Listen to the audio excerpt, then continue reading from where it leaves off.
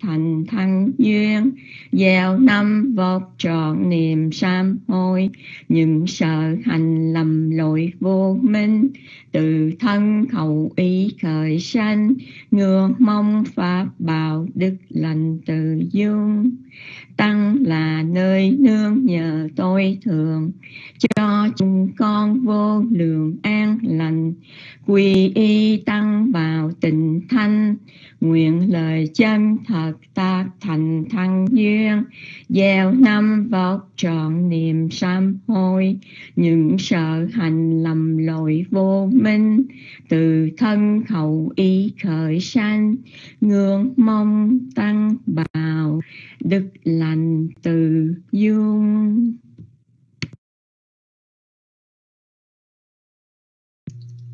Bhagavato Sabba Mangalang Rakhantu Sabbe Devata Sabba Buddha Nữ Phạ Nguyên Sada Sở Thị Phong Quanh Chu Tê. Bhagavato Sabba Mangalang Rakhantu Sabbe Devata Sabba Hamma Nữ Phạ Nguyên Sada Sở Thị Phong Quanh Chu Tê Sở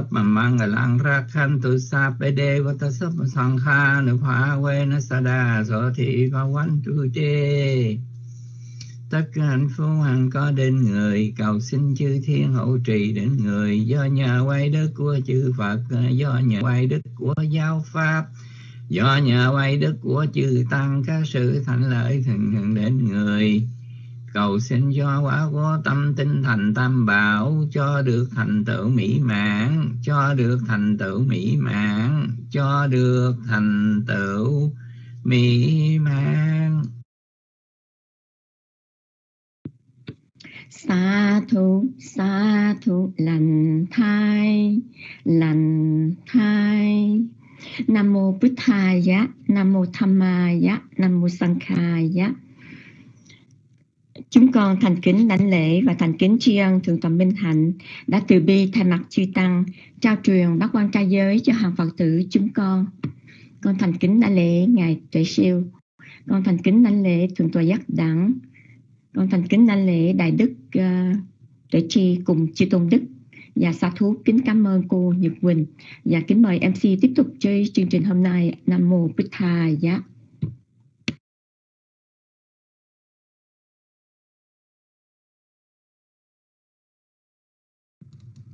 Dạ, sa thú sa thú. Kính cảm ơn cô Huệ Ngọc. Nam Mô Bích Tha Giá, chúng con thành kính đảnh lễ tri ân thượng tọa Minh Hạnh. Đã từ bi hoan hỷ thay mặt chư tôn đức tăng truyền rao tam quy bác quan trai giới đến hàng phật tử của chúng con. Một lần nữa chúng con.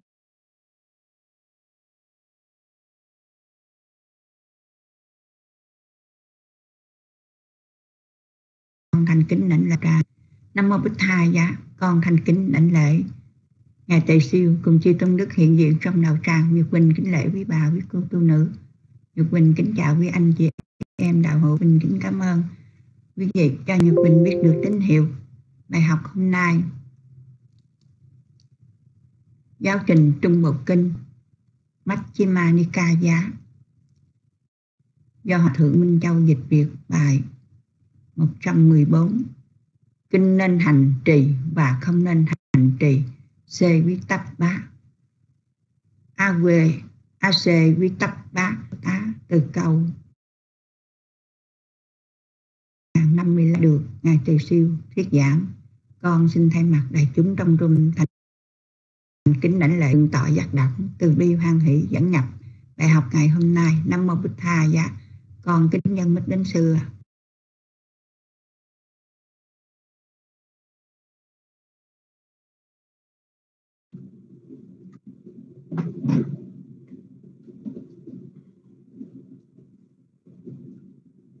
bất ngờ quỳnh Nam Mô Bích Thầy Giờ Kính đại lễ Chư Tôn Thầy Siêu Kính lễ chư Tôn Đức Thượng Chào tất cả quý Phật tử à, Thưa quý vị Một cái căn bệnh à, của phần lớn các tôn giáo là bệnh giáo điều Có nghĩa là chúng ta chỉ dựa vào một lý lẽ gì đó nhưng mà chúng ta lại không biết lắng nghe chính mình cũng thời sự việc đó, nhưng mà với người khác thì có cái tác dụng tốt. Đối với chúng ta thì tác dụng không tốt. Như vậy ờ, khi mình uống thuốc thuốc là một lẽ. Nhưng mà bác sĩ cũng dựa trên cái phản ứng của bệnh nhân cái cơ thể bệnh nhân để mà gia giảm. Ở trong bài kinh hôm nay chúng ta nói về những pháp hành trì pháp không hành trì, không nên hành trì. Là Đức Phật ngài dạy chúng ta là rất là nhiều trường ở đây đơn cử là 10 trường học rồi là chúng ta phải biết lắng nghe chính mình thử xem coi ở trong trường học nào mà điều đó nó tốt hay là không tốt chúng ta. Ví dụ mình ở một làng nào đó một thị trấn nào đó hay là mình uh, mặc y phấn tảo hay là không mặc y phấn tảo vân vân tất cả điều đó đều phải dựa sự lắng nghe chính mình. À, thưa quý vị ờ, bài kinh ngày hôm nay thì cũng có một điểm là uh, đức thế tôn ngài thuyết một cách uh, cô độc. Và tôn giải sát lợi phật là vì đã trình bày lại một cách rộng rãi về đề tài này. Khi mà kết tập thì tất cả những lời thoại được ghi lại và nó khiến cho bài kinh hơi dài một chút. Ờ, chúng tôi mạo muội là sắp xếp lại một chút và cắt gọn lại để khi mà đọc thì đỡ mất thì giờ nhưng mà không có xa phần chánh kinh lắm. À, chỉ có điều là làm sao cho gọn lại để không mất để không có nhiều cái trùng lặp như là cái bản chánh văn. Quý vị tòa đọc so sánh quý vị sẽ thấy. Và điểm thứ hai là ở trong cái văn phong á, thì uh, những cái lời mà uh, xưng gọi ví dụ như bạch đức thế tôn hay là tôi hay là ta, thì chúng tôi cũng được bớt lại. Tại vì nó hơi lúng cũng một chút ở trong bản dịch. Và thưa quý vị ờ, có những đoạn mà sau khi tôn giải số lời Phật nói Đức Phật ngài nhắc lại, thì chúng tôi cũng nghĩ rằng không cần thiết để chúng ta đọc lại làm xong cho gọn và dĩ nhiên là ờ, với tất cả những điều này thì chỉ còn tôi siêu sẽ ờ, giảng giải vào những điểm chính và từ điểm chính đó chúng ta hiểu còn toàn vẹn bài kinh. Bây giờ thì mời quý phật tử khoan nghỉ đọc cho phần chánh kinh và sau đó chúng ta sẽ cung thỉnh thưa gọi siêu giảng giải rộng rãi ý nghĩa của bài học ngày hôm nay.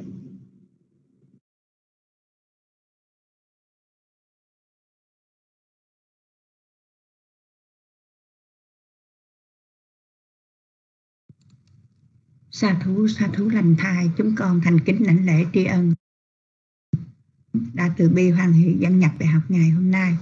Nam mô bích tha dạ dạ nhật quỳnh. Kính cảm ơn không lan cho nhật quỳnh mới được tín hiệu.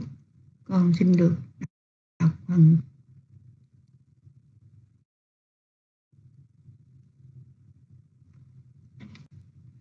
bài 114 kinh nên hành trì.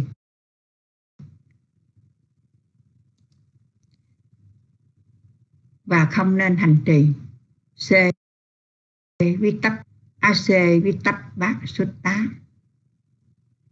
Tên bài kinh nên hành trì và không nên nói lên ý chính của pháp thoại.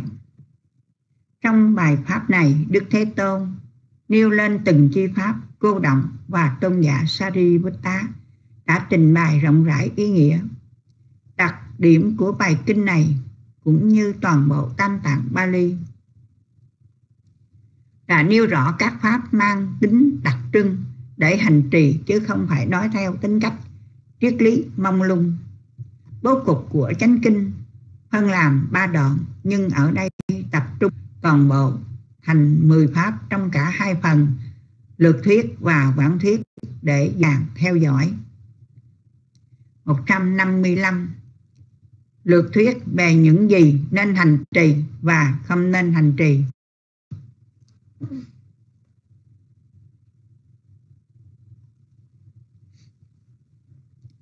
Trong một pháp thoại hàng ngày, cho chư tỳ kheo, Đức Phật đề cập đến những pháp nên hành trì và không nên hành trì một cách cơ động. Như vậy, tôi nghe một thời Thế Tôn trú ở sau Quách Thí Chê Tá Quá Ná tại tỉnh xá ông Anaphin đi cá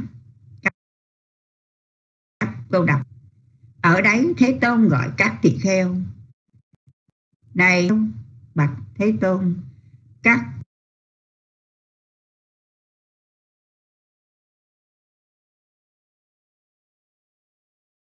vị tỷ kheo nói như, nên hành trì và không nên hành trì.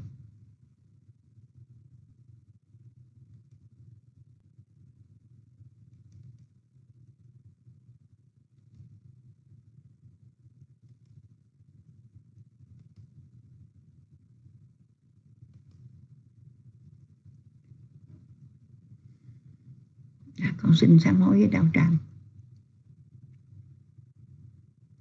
Hãy nghe và suy nghiệm kỹ ta sẽ giảng. Thưa vâng bạch thế tôn này các tỳ kheo ấy vâng đáp thế tôn thế tôn nói như sau. Này các tỳ kheo ta nói thân hành có hai loại. Nên hành trì không nên hành trì. Và đây là sự tương đối của thân hành này, các tỳ kheo ta nói, khẩu hành cũng có tay, cũng có hai loại, nên hành trì, không nên hành trì. Và đây, sự tương đối giữa khẩu hành. Này, các tỳ kheo ta nói hành cũng có hai loại, nên hành trì, không nên hành trì. Và đây là sự tương đối giữa ý hành.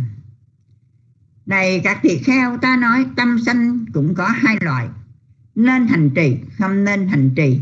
Và đây là sự tương đối giữa tâm sanh. Này, theo ta nói, tưởng đắc cũng có hai loại, nên hành trì, không nên hành trì. Và đây là sự tương đối giữa tưởng đắc. Kiến đắc này các tỳ kheo ta nói cũng có hai loại, nên hành trì, không nên hành trì. Và đây là sự tương đối giữa kiến đắc, đích thi bát thi lắp phát đích thị bát tị la phá. Ngã tánh đắc. Này các tỳ kheo ta nói cũng có hai loại. Nên hành trì. Nên hành trì.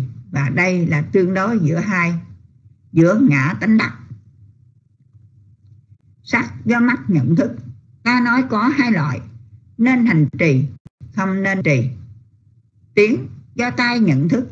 Này sari bút tá ta nói có hai loại nên hành trì hành trì. Sarita nói có hai loại, nên hành trì, không nên hành trì. Vì do lưỡi nhận thức này Sariputta ta nói có hai loại, nên hành trì, không nên hành trì. Xuất cho thân nhận thức này Sariputta ta nói có hai loại nên hành trì, không nên hành trì. Pháp do ý nhận thức. Này Sariputta, ta nói có hai loại, nên hành trì, không nên hành trì.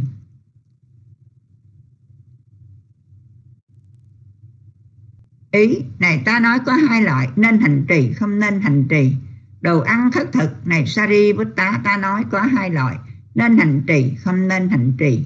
Sàng tọ dạ vậy thôi con đọc cái câu này sai rồi dạ y chứ không phải là ý con đọc lại y này, ta nói có hai loại, nên hành trì, không nên hành trì. Đồ ăn thất thực tá, ta nói có hai loại, nên hành trì, không nên hành trì. Sàng tọ này Sariputta ta nói có hai loại, nên hành trì, không nên hành trì. Làng này Sariputta ta nói có hai loại, nên hành trì, không nên hành trì. Thị trấn này Sariputta ta nói có hai loại nên hành trì không nên hành trì. Đô thị, này Sariputta ta nói có hai loại, nên hành trì, không nên hành trì. Quốc độ, này Sariputta ta nói có hai loại, nên hành trì, không nên hành trì. Uppala này Sariputta ta nói có hai loại, nên hành trì, không nên hành trì. 1056 quản thuyết về những gì nên hành trì và không nên hành trì. Thân hành nên hành trì và không nên hành trì được nghe nói vậy, tôn giả Sariputta bạch Thế Tôn. Bạch Thế Tôn, lời nói này được Thế Tôn nói lên vắn tắt, không dạy nghĩa rộng rãi. Con hiểu ý nghĩa một cách rãi như sau.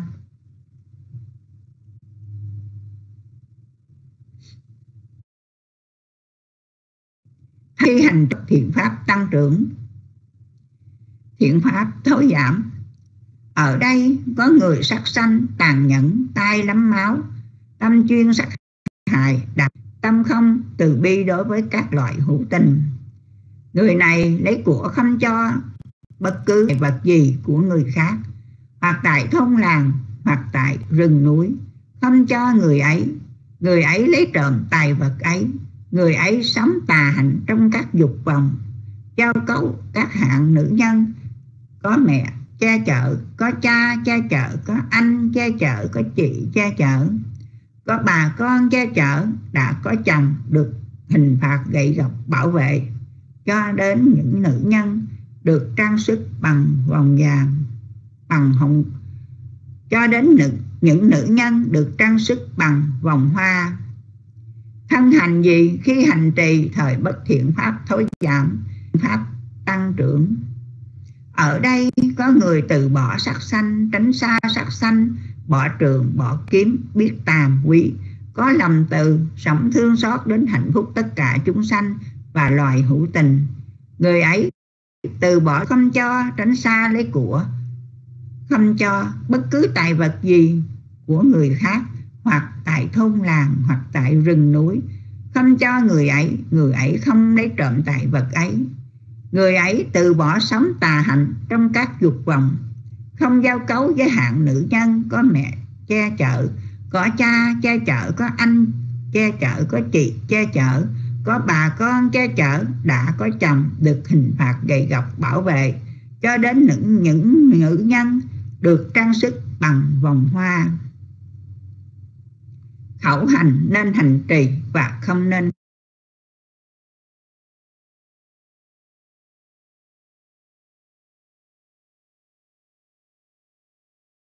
thành trì. Tôn, có người vọng ngữ, đến chỗ tập hội hay đến chỗ chúng hội hay đến giữa các thân tập hay đến giữa các tổ hợp hay đến giữa vương tộc. Khi bị dẫn sức làm chứng và được hỏi, này, người kia, hãy nói những gì ông biết? Dầu cho người ấy không biết, người ấy nói, tôi biết. Dầu cho người ấy biết, người ấy nói, tôi không biết. Hai dầu dầu cho người không thấy, người ấy nói, tôi thấy. Hai dầu cho người ấy thấy, người ấy nói, tôi không thấy. Như vậy, lời nói của người ấy trở thành cố ý vọng ngữ. Hoặc vì nguyên nhân tự kỷ, hoặc vì nguyên nhân tha nhân, hoặc vì nguyên nhân một vài quyền lợi gì.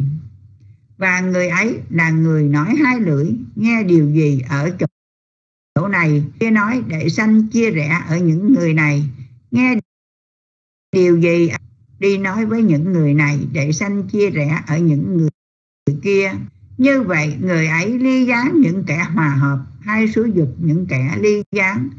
Ưa thích phá hoại, vui thích phá hoại, thích thú phá hoại, đưa đến phá hoại. Và người ấy là người nói lời thô ác, bất cứ lời gì thô khiến người đau khổ, khiến người tức giận, liên hệ đến phẫn nộ, không đưa đến thiện định người ấy nói những lời như vậy.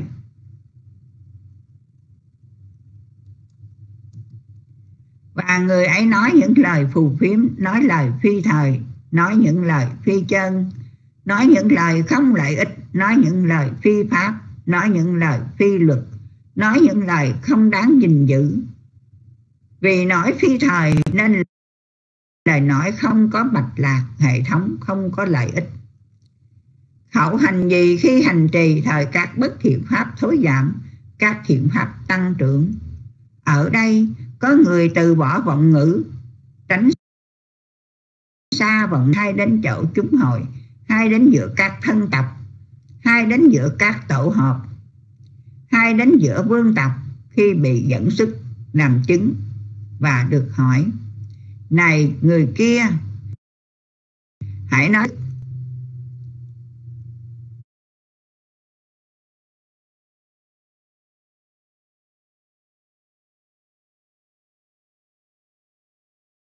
Nếu biết,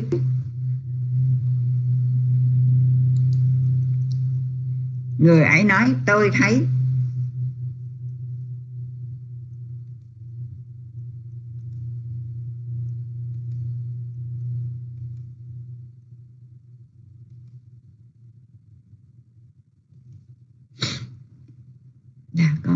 đạo tràng còn nghe được âm thanh cho Nhật Bình xin một tín hiệu ạ. Dạ cảm ơn đạo tràng. Dạ bị nét con bị rớt á. Con xin lặp lại một đoạn. Hai nếu không thấy người ấy nói, tôi không thấy. Nếu thấy người ấy nói, tôi thấy. Như vậy, lời nói của người ấy không trở thành cố ý vọng ngữ.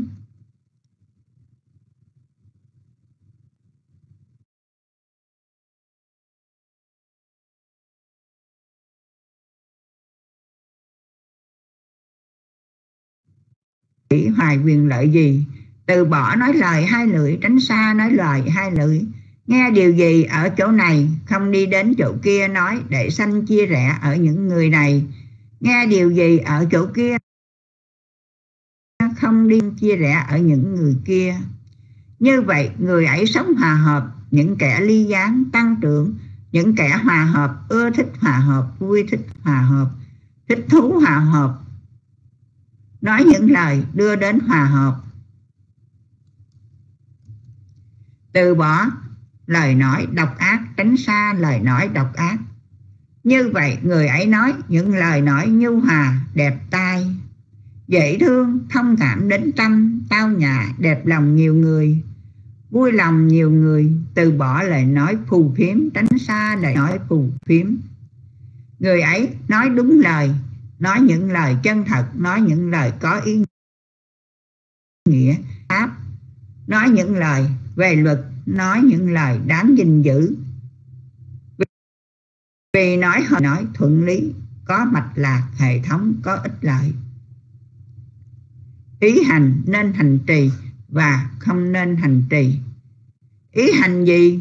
Khi hành trì, thời bất tăng trưởng, pháp thối giảm có người có tham ái tham lam tài vật kẻ khác nghĩ rằng, ôi, mong rằng mọi tài vật của người khác trở thành của mình. Người sân tâm khởi lên hại ý, hại niệm như sau. Mong rằng những loài hữu tình này bị tàn sát hay bị tiêu diệt hay bị làm hại hay mong chúng không còn tồn tại. Khi hành trì, thời các bất thiện pháp thối giảm, các thiện pháp tăng trưởng.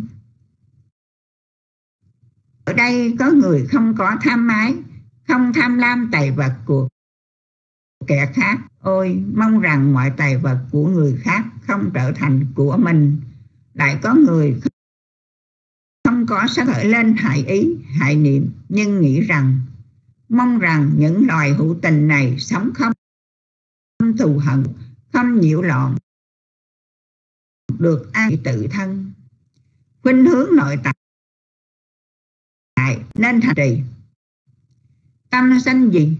Khi hành trì, thời bất thiện pháp, tăng trưởng thiện pháp, thối giảm.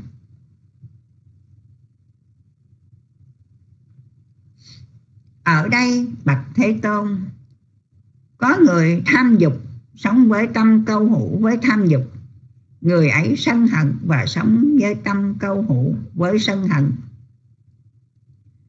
người ấy có hại tâm và sống với tâm câu hữu với hại hại tâm. Tâm sanh như vậy, bạch thế tôn khi hành trì bất thiện pháp, tăng trưởng thiện pháp, thối giảm.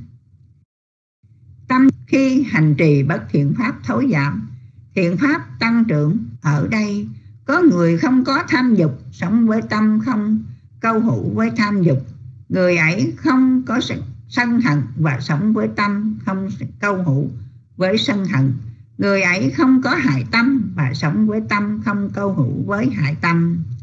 Tâm sanh như vậy, nếu hành trì thời bất thiện pháp thối giảm, thiện pháp tăng trưởng. Tưởng đắc nên hành trì và không nên hành trì. Tưởng đắc gì? Khi hành trì thời thiện pháp tăng trưởng, thiện pháp thối giảm.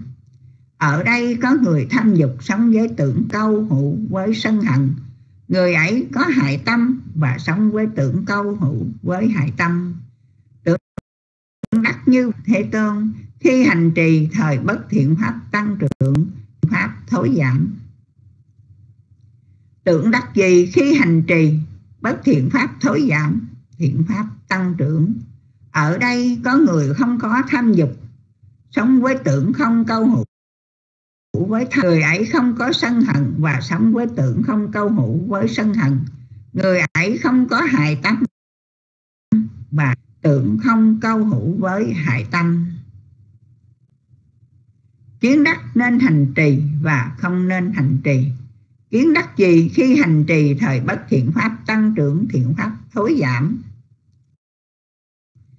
Tôn, có người có tà kiến như sau không có bố thí. Không có không có tế tự. Không có quả gì thuộc các nghiệp thiện ác. Không có đời này không, không có đời mẹ không, không có cha không có các loài hóa sanh. Ở đời không có những vị sa môn những vị chánh hướng chánh hạnh đã tự mình với thượng trí chứng tri chứng và ăn trú đời này và truyền dạy lại kiến đắc gì khi hành trì, thời bất thiện pháp, thối giảm, các thiện pháp tăng trưởng.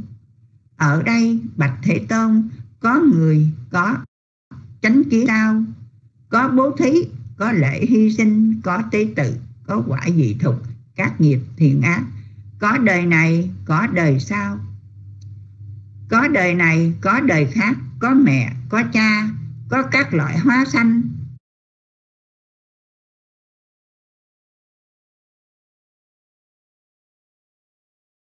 ở đời ý trú, đời này, đời khác và truyền dạy lại.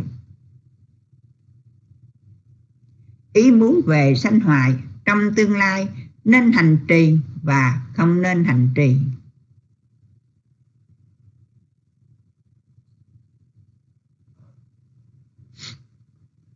Ngã tánh đắc gì khi hành trì, thời các bất thiện pháp tăng trưởng, các thiện pháp thối giảm.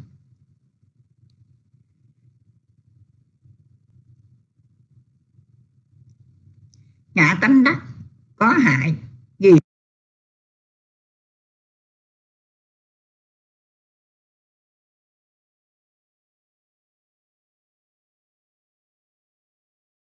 Sự không làm trưởng ngã tánh đắc vô hại. Vì sự khi sanh khởi, các bất thiện pháp thối giảm, các thiện pháp tăng trưởng sự với cảnh của tâm nên hành trì và không nên hành trì. Sắc nào do mắt nhận thức, khi hành các bất thiện pháp tăng trưởng, các thiện pháp thối giảm, sắc do mắt nhận thức như vậy, không nên hành trì. Sắc nào do mắt nhận thức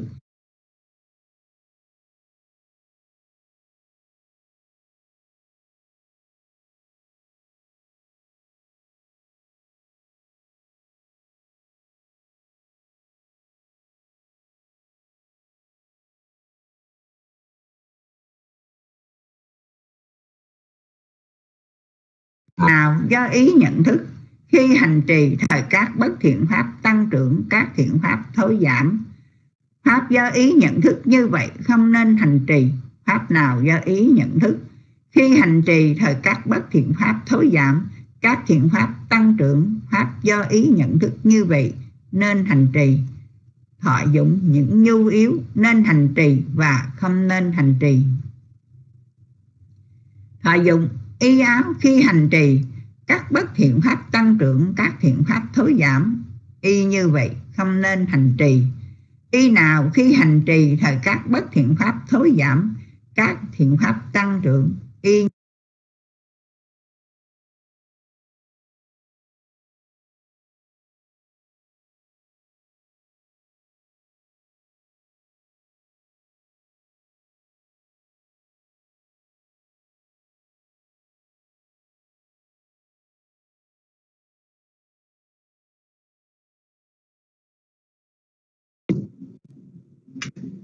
thưa vị cô Nhật Quỳnh à, bị à, gián đoạn thực truyền chúng tôi xin đọc nhanh để à, bước qua phần giảng của chúng tôi tôi siêu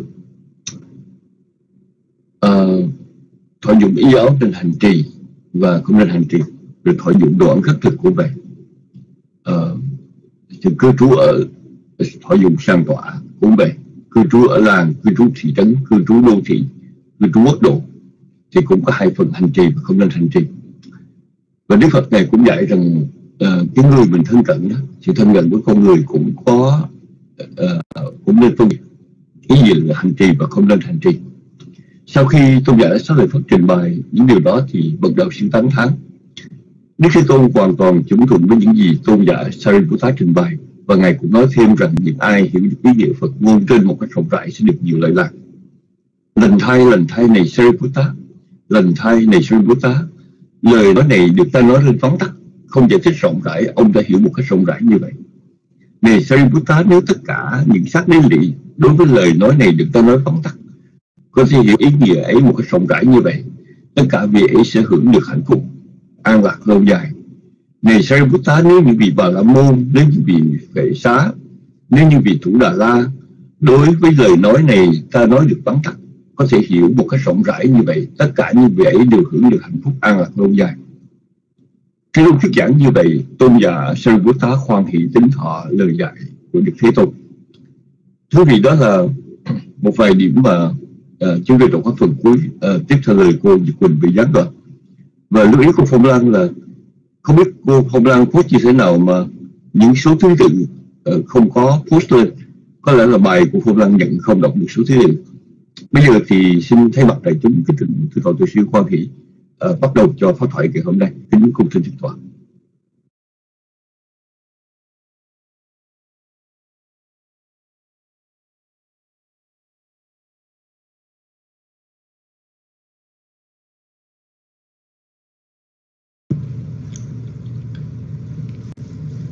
Nam Mô Bụt Thầy Kính lễ Đức Phật, kính lễ Giáo Pháp, kính lễ Chư Thịnh Văn Đệ Tử. Kính chào Chư Tôn Đức và thân chào tất cả quý tôn nữ quý Phật tử. Kính trường à, Thượng tọa Giác Đẳng. Và cảm ơn cô Nhật Quỳnh đã đọc bài Thượng tọa đã tóm tắt để cho nhanh nhanh à, kính thưa quý vị à, thực ra bài kinh này rất là dài. Nhưng mà chúng ta không thể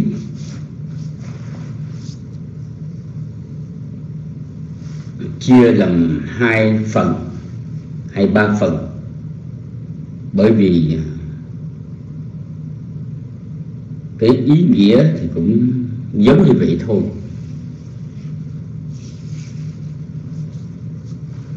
Cho nên bài kinh này hôm nay chúng ta học luôn một một ngày, một buổi học, chứ không có chia ra.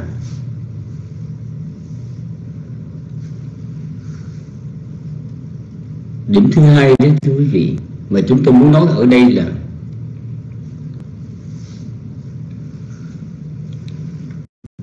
ở trong bài kinh này à, Đức Phật ngài thuyết có tất cả là 21 chi pháp.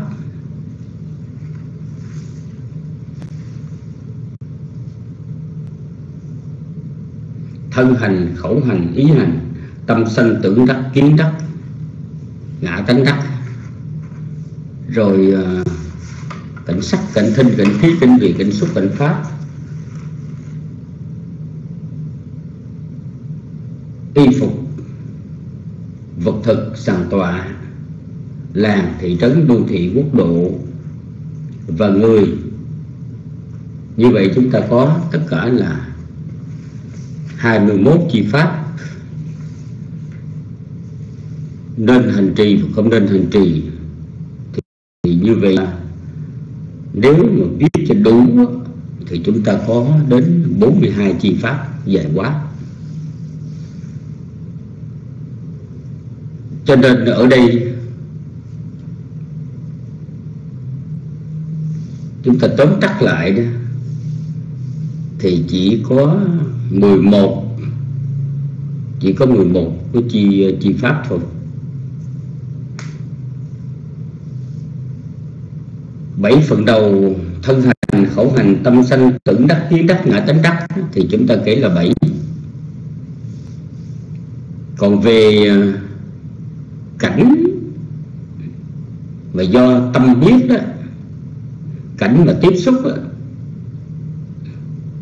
mắt tay mũi lưỡi thân ý mà tiếp xúc đó, thì cảnh đó chúng ta gom lại thành một là cảnh. Cảnh mà nhận thức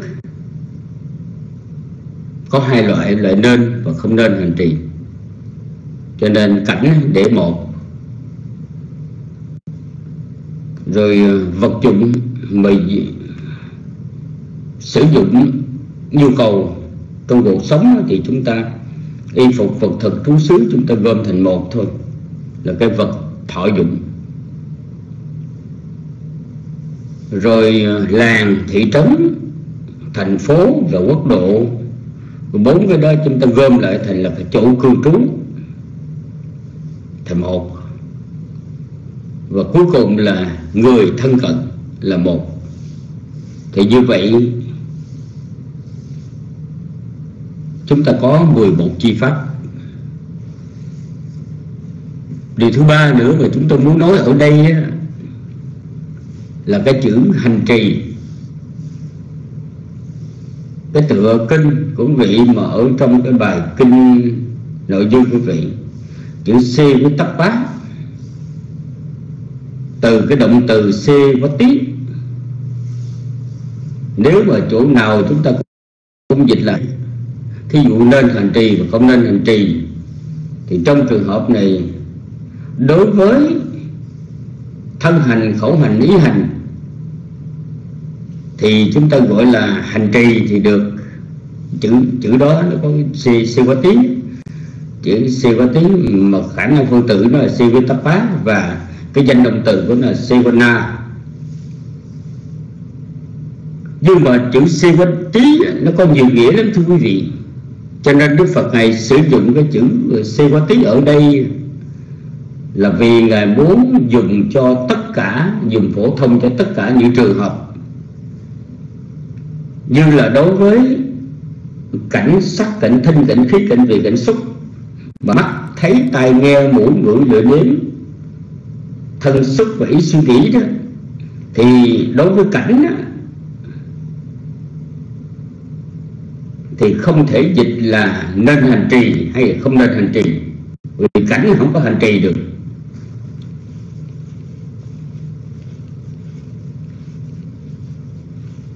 Cho nên ở đây chúng ta tùy. Còn như là y phục vật thực sàn tọa đem có hại hoặc không có hại đó. Thì cái này gọi là thọ dụng. Chữ siêu có tí cũng còn có nghĩa là thọ dụng, thưa quý vị. Cho nên không thể được. Còn làng gamu nikamu Nakarang Chanapadu, làng thị trấn, thành phố và quốc độ, thì chúng ta nói làng có hai loại một loại nên hành trì và loại không nên hành trì. Thì nghe nó có vẻ nó nó nó nó, nó gượng dịch gượng quá đi. Bởi vì làng thị trấn không thể hành trì. Thí dụ bây giờ tôi hành trì ở vĩnh long thì nghe kỳ quá. Hay là một người mà hành một người hành trì ở hoa kỳ hay là hành trì ở việt nam thì nghe kỳ quá. Chúng ta phải nói là cư trú sống. Sống ở đâu đó, cư trú ở đâu đó, thì như vậy chữ Sivana nó có nghĩa là cư trú. Lại nữa, cái chữ người vũ ca lá chúng ta không nên dịch là có có hai trường hợp, có hai hạng. Có hạng người nên hành trì và không nên hành trì.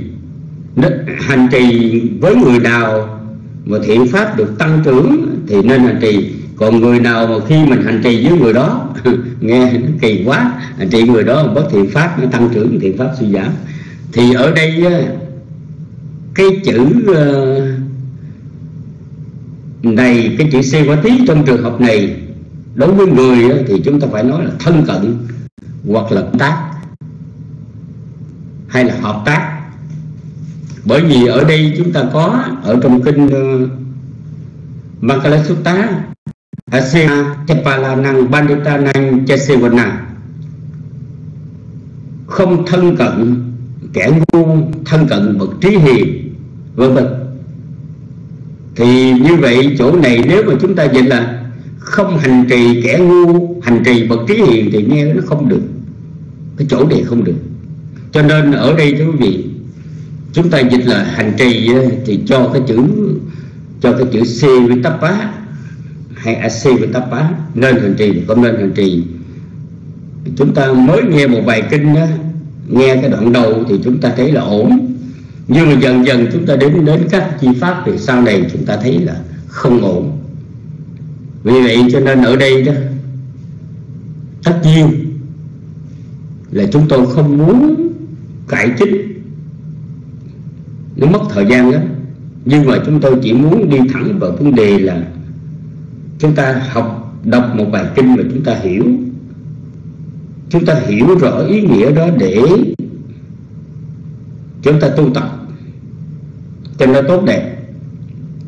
Ở trong cuộc sống của chúng ta đó, thì chúng ta có 11 cái vấn đề. 11 cái vấn đề mà chúng ta phải lưu ý. 11 vấn đề chúng ta phải lưu ý là như thế nào?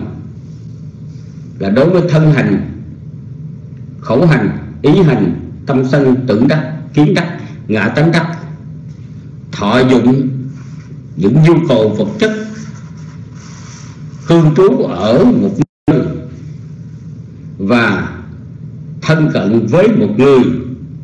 Mấy cái chỗ đó, chúng ta nhớ, cái sự thân cận, cái sự cư trú hay là cái sự thọ dụng, hoặc là chúng ta tiếp xúc với cảnh hay là thân hành, khẩu hành, lý hành gì đó, thì chúng ta phải chú ý là nó có hai mặt. Mặt tích cực và một mặt tiêu cực.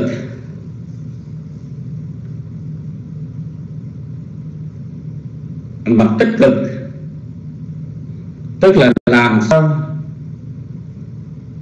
để 11 cái trường hợp đó. Xảy ra trong cuộc sống của chúng ta mà làm cho thiện pháp được tăng trưởng, bất thiện pháp bị suy giảm, thì cái đó là chúng ta nên. Nên còn nếu như mà 11 trường hợp đó mà xảy ra đó, ở trong cuộc sống chúng ta mà làm cho bất thiện pháp tăng trưởng và thiện pháp bị suy giảm thì chúng ta nên chú ý để chúng ta khắc phục. Thì bây giờ chúng tôi sẽ trình bày với quý vị. Chắc có lẽ cái thì giờ ờ, giảng bài, chắc có lẽ là nó phải đi đúng một tiếng đồng hồ, tức là tới 10 giờ rưỡi, tới chín rưỡi mới xong. Xin ờ, thượng tọa giáo đẳng quan hỷ dùm cho ở đây thưa quý vị, trước hết là chúng ta nói về thân hành, khẩu hành và ý hành. Sự hành động hành động, lời nói và ý nghĩ. Ba cái này được Đức Phật nêu lên trước. Thì ở đây, những hành động nào mà thuộc về ác bất thiện pháp. Nghĩa là thân ác hạnh, thì cái đó không nên không nên thực hành. Thân ác hạnh tức là sắc sanh trộm cắp tài dâm, tà hạnh đó.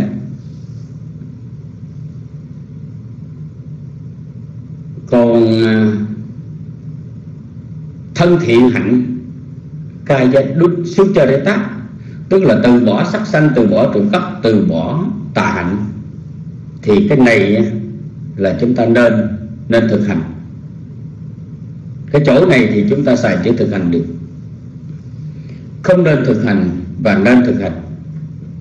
Bởi vì đối với thân hành, kaya samachara nếu mà mình thực hành cái thân hành bất thiện thì nó sẽ đưa đến hậu quả cay đắng.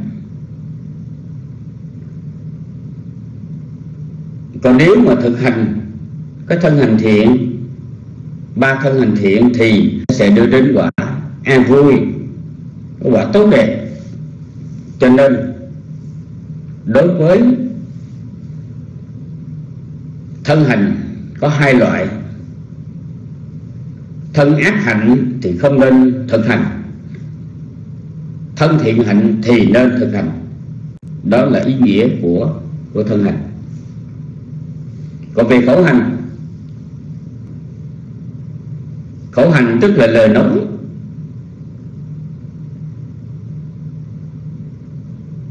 Không phải lời nói nào cũng tốt đẹp. Có những lời nói mà nó thuộc về khẩu ác hạnh như là nói dối nói đâm thọc nói độc ác.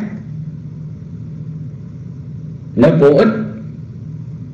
Bốn cái khẩu hành bất thiện đó không nên thực hành. Nó sẽ đưa đến khổ đau. Và nhất là cái tính chất của cái khẩu hành bất thiện này nó sẽ làm cho thiện pháp bị suy giảm và bất thiện pháp tăng trưởng, cho nên phải bỏ không nên thực hành. Còn cái khẩu hành mà thuộc về khẩu thiện hạnh quát chi xuất cho để tắt. Tức là bốn khẩu thiện hạnh, nói chân thật, nói hòa hợp, nói dịu ngọt và nói hữu ích. Thì bốn cái khẩu hành đó là nên thực hành. Vì nó sẽ đưa đến cái quả tốt đẹp và làm cho thiện pháp tăng trưởng bất thiện pháp suy giảm. Còn ý hành, tức là cái sự suy nghĩ, cái sự tính toán, cái sự tư duy. Ý hành ở đây nó cũng có hai. Nếu mà ý hành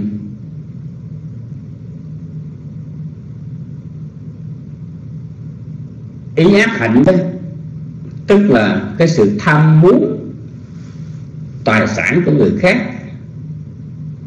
cái sự sân hận, cái sự não hại, thì cái ý hành đó là không nên thực hành. Bởi vì nó sẽ làm cho thiện pháp bị suy giảm, bất thiện pháp tăng trưởng và đưa đến hậu quả khổ đau còn cái ý hành mà thuộc về ý thiện hạnh là ly dục vô sân bất hại. Không nghĩ đến cái chuyện mà tham muốn tài sản của người khác, muốn cướp được tài sản của người khác. Không có cái tâm nóng nảy sân giận, không có ác ý muốn làm hại người khác, thì như vậy cái ý hành đó gọi là ý thiện hạnh như vậy thì ý hành, hai loại, một loại nên hành trì và loại không nên hành trì. Tức là ý hành mà thuộc về ý ác hạnh không nên hành trì. Ý thiện hạnh thì nên hành trì. Thứ tư là chúng ta nói về tâm sân cần phải phân biệt ý hành.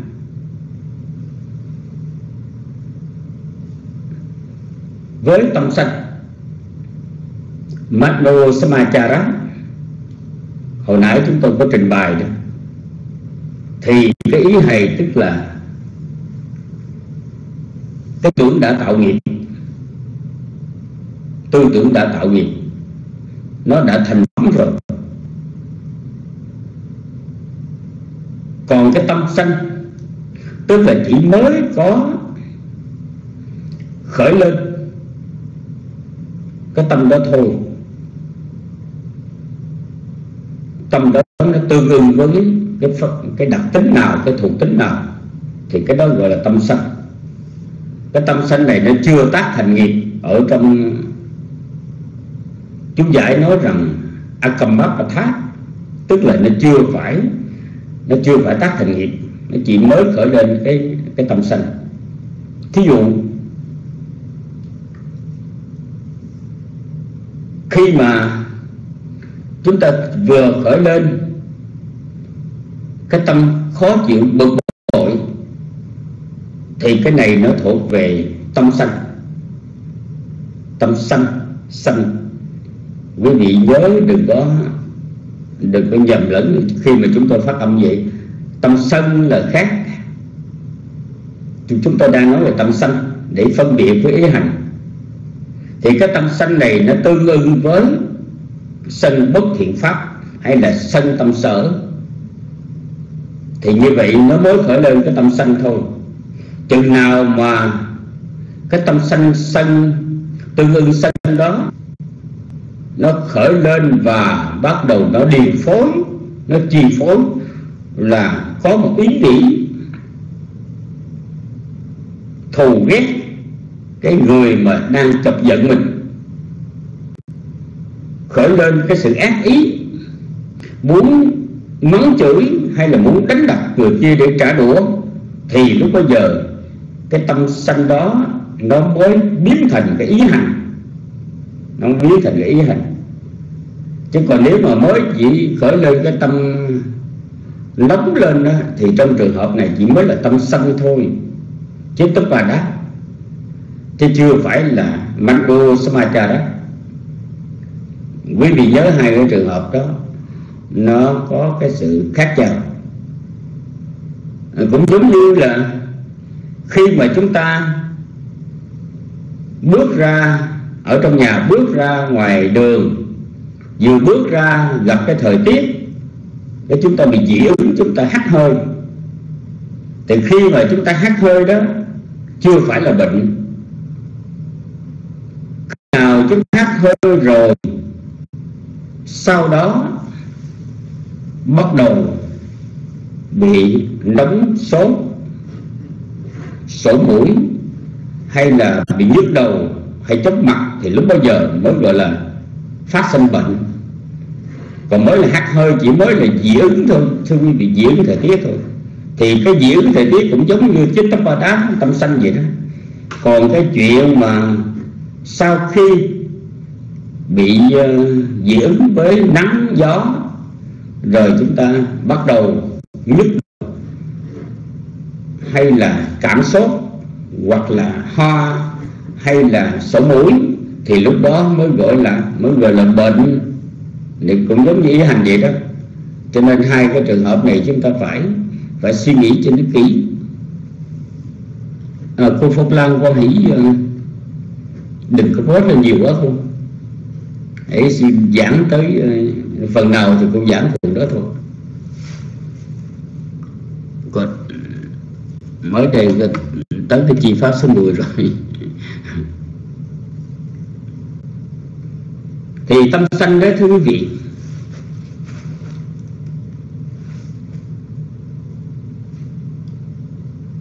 tâm nó có hai loại. Đối với phàm phu chúng ta, cái tâm động lực nó có hai loại.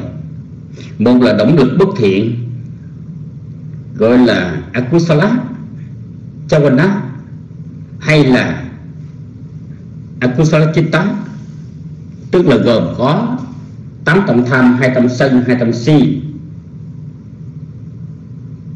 tâm mà tương ưng tham đó, tâm câu hữu với tham thì gọi là tâm tham. Tâm câu hữu với sân thì gọi là tâm sân. Thì trong tham có si trong sân có si.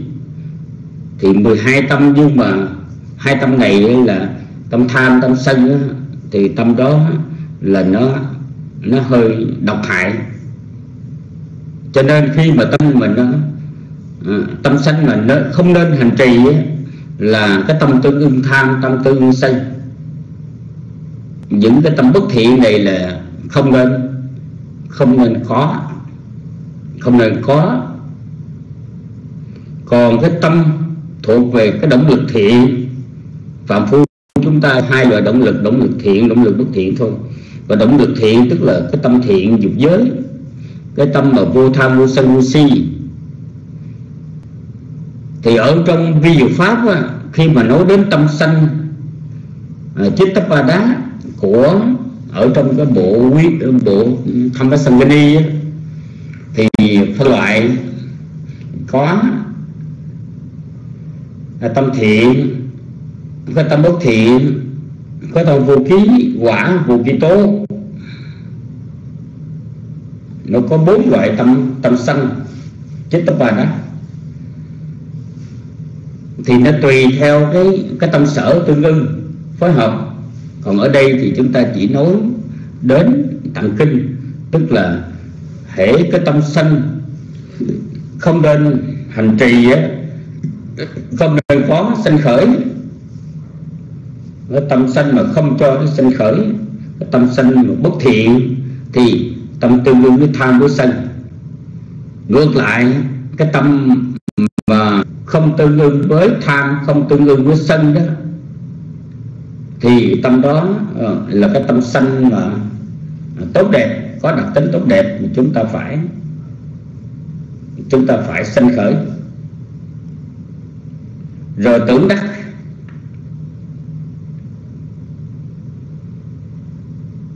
cái vấn đề tưởng này đó, thưa quý vị.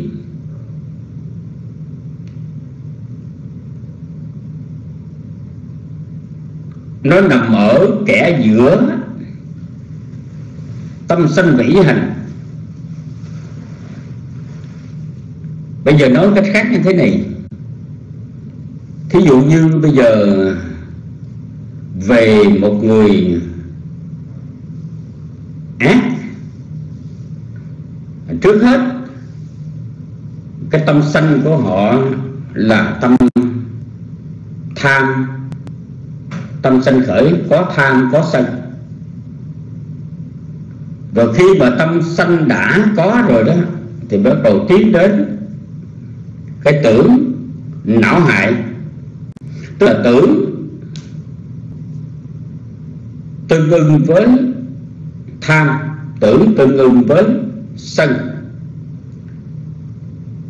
Tưởng này nó mới đi đến cái gọi là ý hành, bất thiện, tức là ý hành tạo nghiệp. Ý hành à, ý ác hạnh, ý ác hạnh.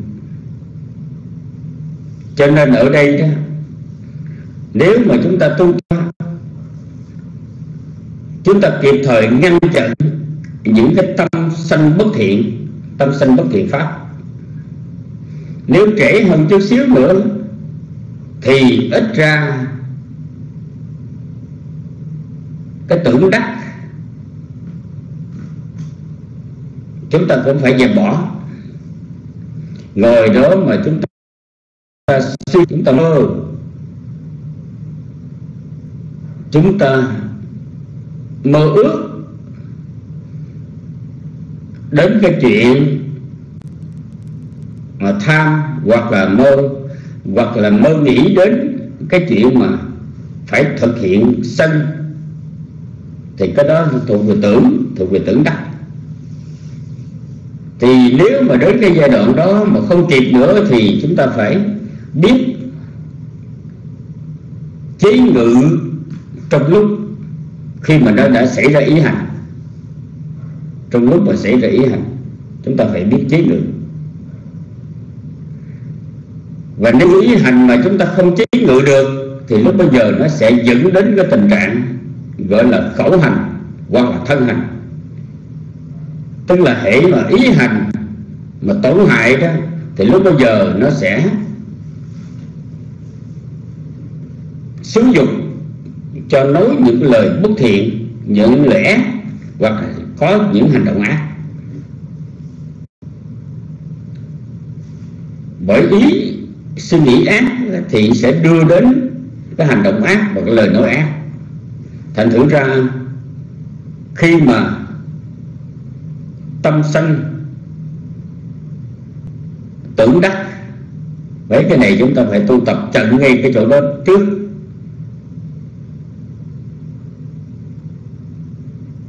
Chớ tâm sân và tưởng đắc mà chúng ta không có ngăn chặn kịp thời thì thì nó sẽ xảy ra cái thân hành, khẩu hành ý hành bất thiện thì nó không tốt còn ngược lại, cái tâm sân mà thuộc về thiện pháp đó, tâm thiện nó sẽ tới có cái tính, có cái đặc tính vô tham, vô sân, vô si, thì cái tâm sân đó mình phải nuôi dưỡng chúng ta phải nuôi dưỡng. Và khi mà cái tâm sanh tức là thuộc về tâm thiện đó, nó sanh khởi, thí dụ chúng ta vừa nhìn thấy cái hình phật, chúng ta khởi lên cái tâm thiện. Tâm thiện này nó chỉ thoáng qua tâm thiện, thoáng qua. Chúng ta phải làm sao chúng ta nghĩ đến đức phật? Để mà cho niềm tin nó khởi lên. Mà khi chúng ta đã nghĩ đến đức phật thì lúc bây giờ đây gọi là cái tự, cái tưởng đắc. Tâm sanh thiện, tâm thiện nó sanh, rồi đưa đến tưởng thiện, tưởng đắc thiện. Mà khi đã có tưởng đắc như vậy rồi, tức là phát khởi lên cái niềm tin đối với đức phật, thì bắt đầu chúng ta tu tập theo lời dạy của đức phật. Thí dụ tư tưởng của chúng ta là tu tập tâm từ tâm bi tâm hỷ tâm xã vân vân. Thì lúc bây giờ đó gọi là ý hành. Rồi từ cái ý hành đó nó sẽ tạo cho chúng ta cái khẩu thiện hạnh cái thân thiện hạnh. Nó đi nó liên đới nhau như thế. Cho nên khi mà chúng ta tu tập đó, là chúng ta tu tập tưởng đắc thuộc về thiện à, tâm sân thuộc về thiện. Tưởng đắc thuộc về thiện ý thiện hạnh khẩu thiện hạnh thân thiện hạnh. Chúng ta tu tập bao nhiêu đó. Và như vậy là năm phần đầu.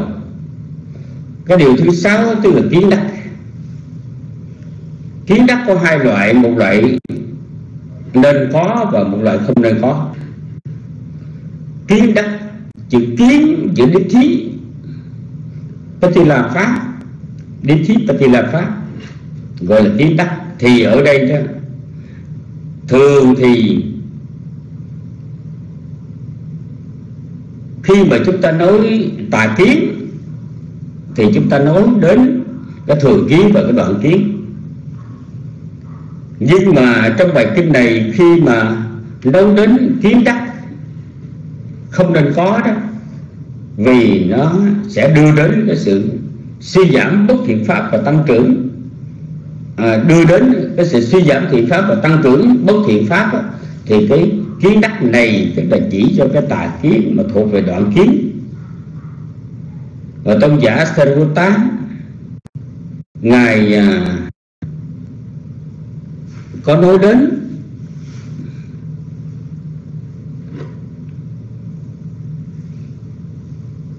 là cái tri kiến mà bác bỏ nhân quả. Tri kiến mà cho rằng không có thánh pháp, không có người tu chứng truyền dạy pháp ấy, thì cái đó là thuộc tà kiến. Không tin có đời này, không có đời sau, không có bố thí, không có quả của nghiệp thiện hay nghiệp bất thiện, không có cha, không có mẹ, vân vân thì cái tri kiến đó nó thuộc về đoạn kiến một cái đoạn kiến này nó độc hại lắm. Bởi vậy cho nên tôn giả Sarupta ngài mới lấy cái trường hợp này để mà nói đến cái loại kiến đắc. Không nên có. Còn cái kiến đắc mà nên có thì kiến đắc này là chánh kiến. Chánh kiến nên có. Nhưng mà chánh kiến có nhiều thứ.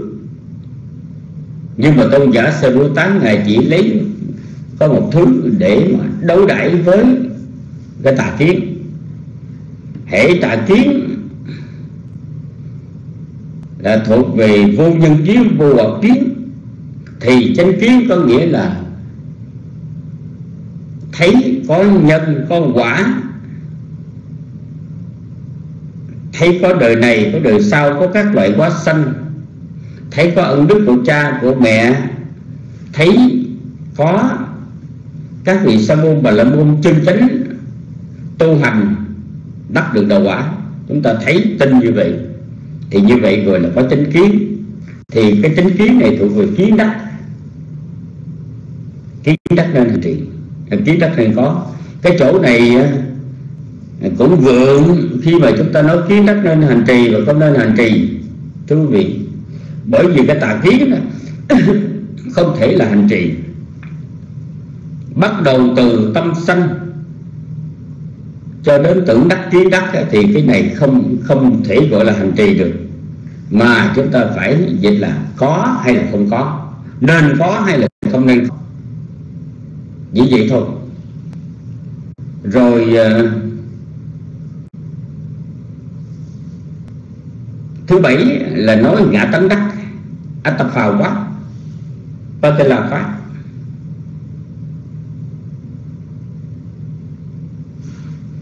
ở trong cái trong cái bài kinh tóm tắt,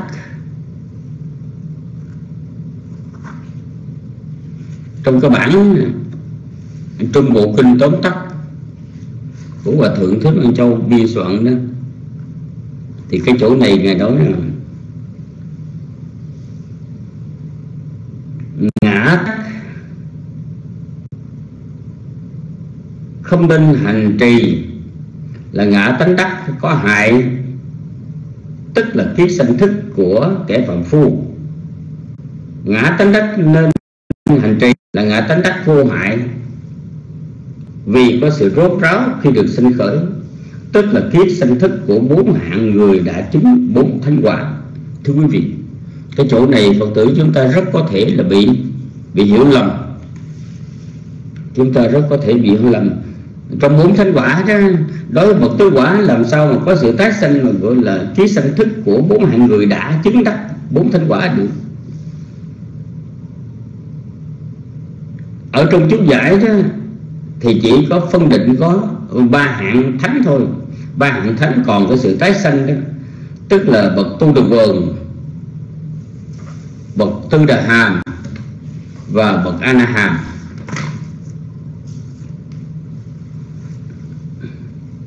với một hạng nữa gọi là hạng vô thu chánh là hạng phàm phu.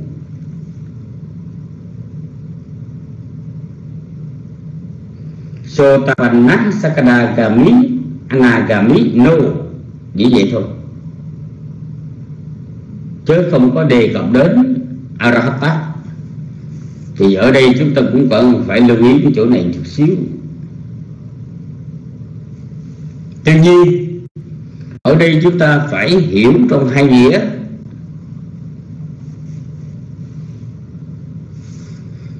Và cái chỗ cái ờ, ngã tánh đắc này đó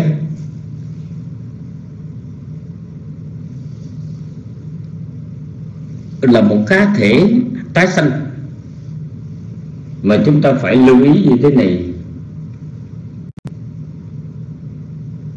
Chỗ này chúng ta không nên dịch là hành trì. Mà ở đây là chúng ta cũng phải xài cái chữ uh,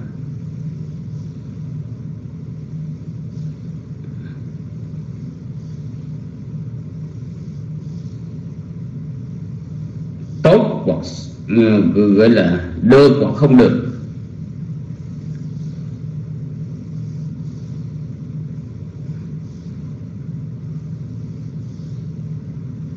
Cái chỗ này cũng hơi khó dịch ra dịch sao để cho nó hiểu cho nó nó, nó suông nó suông ý để người ta hiểu. Bởi vì ở đây trước hết là chúng ta nói về ký sản thức cái hình thức pati sanh thí, tức là cái tâm tục sinh tức là hay là chúng ta nói cách khác là cái sự tái sanh, sự tái sanh. Chúng ta cũng có thể nói là cái gì? Có, nên có hay không nên có? Sự tái sanh của một người, của một chúng sinh mà đi đến cái chỗ làm khổ cho người khác, làm khổ cho cuộc đời. Cái sự tái sanh, sự xuất hiện của một con người mà làm cái mối họa cho cho người khác, thì cái sự xuất hiện đó, cái sự tái sanh đó là cái sự tái sanh mà không không đáng không đáng phải có. Còn cái của một người sinh ra ở đời để làm lợi ích cho mình và lợi ích cho người khác, lợi ích cho cả hai đó, thì cái sự tái sanh của người đó đó, cái ngã atapha quá vì chúng ta bỏ cái chữ đó thì chúng tôi nói cách khác là cái sự tái sanh của của một người, của một cá thể. Cái sự xuất hiện của một cá thể trên cuộc đời này mà nó sẽ đưa đến lợi, mình lợi người thì cái sự xuất hiện của một người đó là mình mình đáng quan nghịch mình đáng quan nghịch chẳng hạn như là sự xuất hiện của đức phật ở đời, hay là sự xuất hiện của những nhân vật kiếp chót, đắc quả a la hán thanh văn hay là sẽ đắc a la hán độc giác, hoặc là sự xuất hiện của một người ở trên đời này mà sẽ chứng tu được vườn tư đà hàm a na hàm hoặc là tối thiểu sự xuất hiện của một người ở trên đời này mà sau đó sẽ xuất gia sẽ hành trì những thiện pháp. Hoặc là để quy tâm bảo vân vân thì cái sự xuất hiện đó, đó là đáng quan nghịch đáng có. Còn cái sự xuất hiện của một số chúng sanh, như là cái sự xuất hiện của một cá thể, địa ngục ngạ quỷ xuất sanh ân tu la thì thôi, không đáng, không xứng đáng. Nguyện khổ.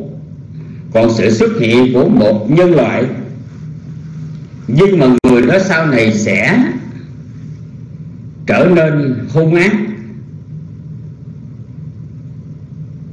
một người giết cha, giết mẹ là một người sẽ giết hại người khác. Hoặc là làm mối nguy cho xã hội thì sự xuất hiện của người đó là không đáng có mặt ở trong cuộc đời này. Mà đức phật gọi là ngã tánh đắc, không nên không nên hành trì đó. Thì ở đây dịch là như vậy nhưng mà chúng ta nên nhớ cái ngã tánh đắc này sự xuất hiện của một người nó không có nó không có tốt. Cho nên ở đây thưa quý vị thực ra thử ra những đứa bé mà nó sinh ra đó sau này nó được một tuổi hai tuổi ba tuổi cha mẹ hay là cái lễ sinh nhật. Nhưng mà cái lễ sinh nhật đó, đó nó cũng chưa phải là tốt đẹp, tại sao vậy? Là bởi vì nó biết đứa bé đó trong tương lai, khi nó lớn lên nó sẽ là cái gì?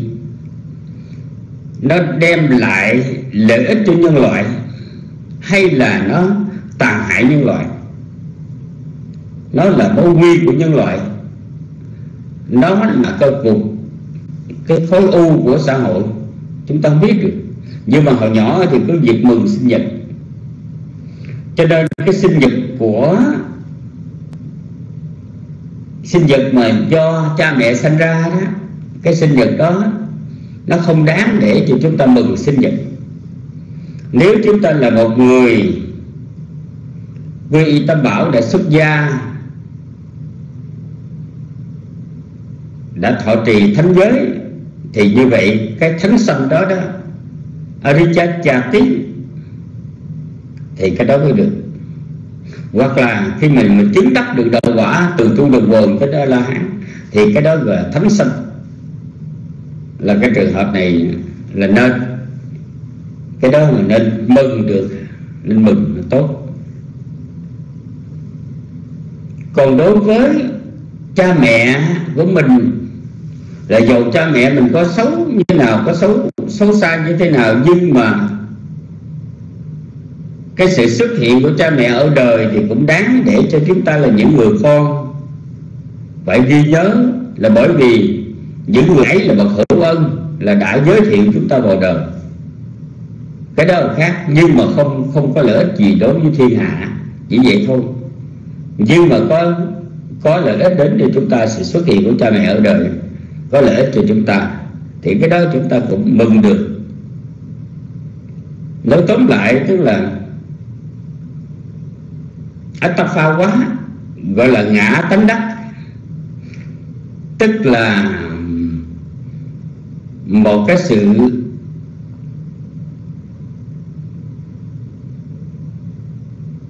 tái sinh của một cá thể ở đời. Nếu như mà không có gây tổn hại cho người khác và đem đến lợi ích cho người khác, thì cái đó, cái ngã tánh đắc này đáng nên có, đáng quan nghênh. Còn cái ngã tánh đắc tức là cái sự xuất hiện của một cá thể ở đời, mà chỉ đem lại gieo rắc cho nhân loại một cái sự tai họa, thì cái ngã tánh đắc này, cái sự hiện khởi, cái sự sanh khởi của người này là không đáng để cho để chúng ta quan nghênh. Đó đó là chúng ta nói về ngài tánh đắc. Và thưa quý vị bây giờ chúng ta lại nói đến cái trường hợp khác. Sau khi cái trường hợp thứ 8 là chúng ta nói đến cái, cái đối tượng nhận thức ở trong cuộc sống của chúng ta, những cái đối tượng nhận thức các giác quan như là cảnh sắc do mắt thấy, cảnh tinh do tai nghe, cảnh khí do mũi, ngửi, cảnh vị do lưỡi nếm, cảnh xúc do thân, đụng chạm và cảnh pháp do ý suy nghĩ đừng nói rằng sáu đối tượng đó là bình thường. Thưa quý vị, mặc dù nói theo trong A Thì Đàm thì sáu đối tượng đó chỉ là sắc cảnh giới thôi. Nó chỉ là đối tượng của các gia quan vô thưởng vô phạt, nó phải vô tí tuy nhiên, cái sự trợ duyên của cái cảnh tiền sanh này, hay là của cảnh duyên này, của cảnh tiền sanh duyên này, có đôi khi có hại và có khi có lợi. Cảnh sắc thân khí vị xuất, pháp, cảnh nào mà khi tiếp xúc mà làm cho thiện pháp được tăng trưởng. Thì đó là thấy cao thượng, nghe cao thượng. Suy nghĩ cao thượng, vân vân. Thì cái sự thấy đó cảnh sắc đó là nên là nên thấy, nên tiếp xúc. Còn cái sự còn cảnh sát thân khi bị xúc nào mà khi tiếp xúc, mắt thấy tai nghe vân vân, mà khiến cho thiện pháp bị suy sụp và ác pháp nó tăng trưởng, bất thiện pháp tăng trưởng, thì cái đối tượng đó là không nên,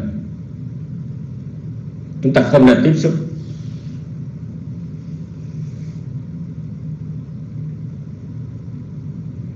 Thấy cái gì, nghe cái gì? Thí dụ chúng ta, người phật tử chúng ta sẽ nghĩ rằng là chúng ta thấy hình ảnh của đức phật, hay là chúng ta thấy hình ảnh của chư tăng khởi lên cái tâm quan hỷ, thì chúng ta cho rằng cảnh sắc đó hay là cảnh thinh đó, nó sẽ đem lại thiện pháp, vân vân nhưng mà bây giờ ở đây chúng ta phải hiểu trong một cái bài kinh khác là khi chúng ta thấy, khi chúng ta nghe, cảnh sắc là cảnh sắc, cảnh thinh là cảnh thinh cảnh khí là cảnh khí, cảnh vị là cảnh vị, cảnh xúc là cảnh xúc, cảnh pháp là cảnh pháp.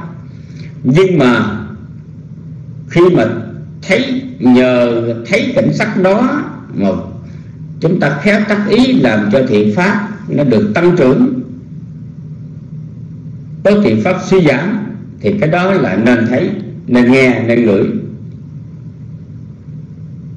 Còn khi mà thấy, nghe, ngửi, nếm đụng mà không có sự khéo tác ý, không có khéo thu thúc, làm cho ác bất thiện pháp nó sinh gởi thì cái này là, cái này là không nên. Chúng tôi thí dụ những vị tỳ kheo đi vào tham ma bộ địa vị đó nhìn tử thi với cái tuệ quán minh sắc để thấy rằng có thân này đây rồi sẽ bị tiêu hoại. Thật là đáng để nhàm chán, thật là vừa đủ để xả ly. Nếu mà nhìn thấy, mắt nhìn thấy cái tử thi đó như vậy, khởi được tuệ quán như vậy thì nên thì nên thấy. Cái cảnh sắc đó là nên thấy. Còn nếu như có ở trong kinh cũng có ghi lại, có một vài vị tỳ kheo, khi mà được báo ở tại Tham Ma Bộ Địa, tại bãi Tham Ma có một xác chết, vừa đem vào thỉnh mấy ngày đến để mà quán tưởng. Nhưng mà các vị tỳ kheo đến nhìn thấy cái xác chết của một nữ nhân, các vị tỳ kheo trẻ thì lại khởi lên, cái sự tò mò, hay là khởi lên một cái dục dĩ thì như vậy cũng cái hình ảnh tử thi đó, cảnh sắc đó, như mà cảnh sắc, khi mà mắt thấy cảnh sắc đó, mà thiện pháp được tăng trưởng thì cái đó nên còn khi mà thấy mà bất thiện pháp tăng trưởng, sanh khởi thì cái đó là không nên thấy. Vân vân. Nghe ngửi nếm được cũng gì vậy nữa cho nên ở đây đó chúng ta cần phải hiểu là khi tiếp xúc với đối tượng mà sáu giác quan nhận thức thì cái sáu đối tượng này chúng ta cũng phật, Đức Phật là thuyết có hai loại. Một loại tiếp xúc và một loại không nên tiếp xúc. Ngài Xá lập Phất, Ngài giải rằng, Cái đối tượng nào mà tiếp xúc Làm cho thiện pháp tăng trưởng Thì nên tiếp xúc. Còn sáu đối tượng đó Mà khi tiếp xúc Làm cho bất thiện pháp Thì não nó tăng trưởng Thì không nên tiếp xúc. Ý nghĩa là gì vậy? Rồi bây giờ chúng ta lại nói đến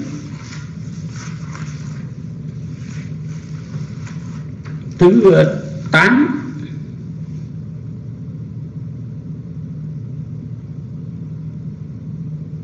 Thứ 9 Bây giờ về vật dụng dùng xài.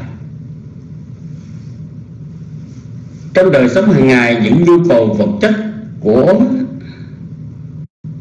một vị xuất gia thì có y phục,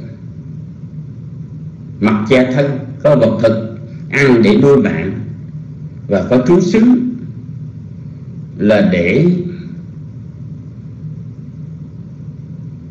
tránh né cái thời tiết nóng hay lạnh mưa gió vân vân. Thì mặc dù vậy, cái y phục, cái vật thực, cái sàn tọa đó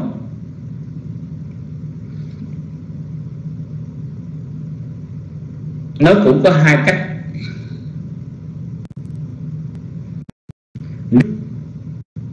Khi mà thọ dụng y phục, thọ dụng vật thực, thọ dụng sàn tọa trú xứ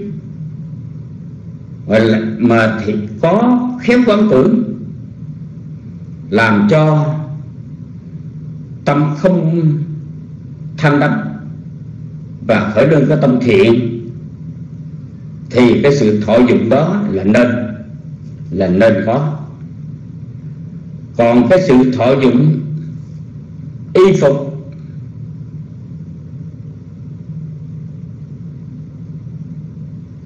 hay là thọ dụng vật thực, thọ dụng sang tòa, mà làm cho thiện pháp nó suy giảm bất thiện pháp tăng trưởng thì cái điều không nên không nên có.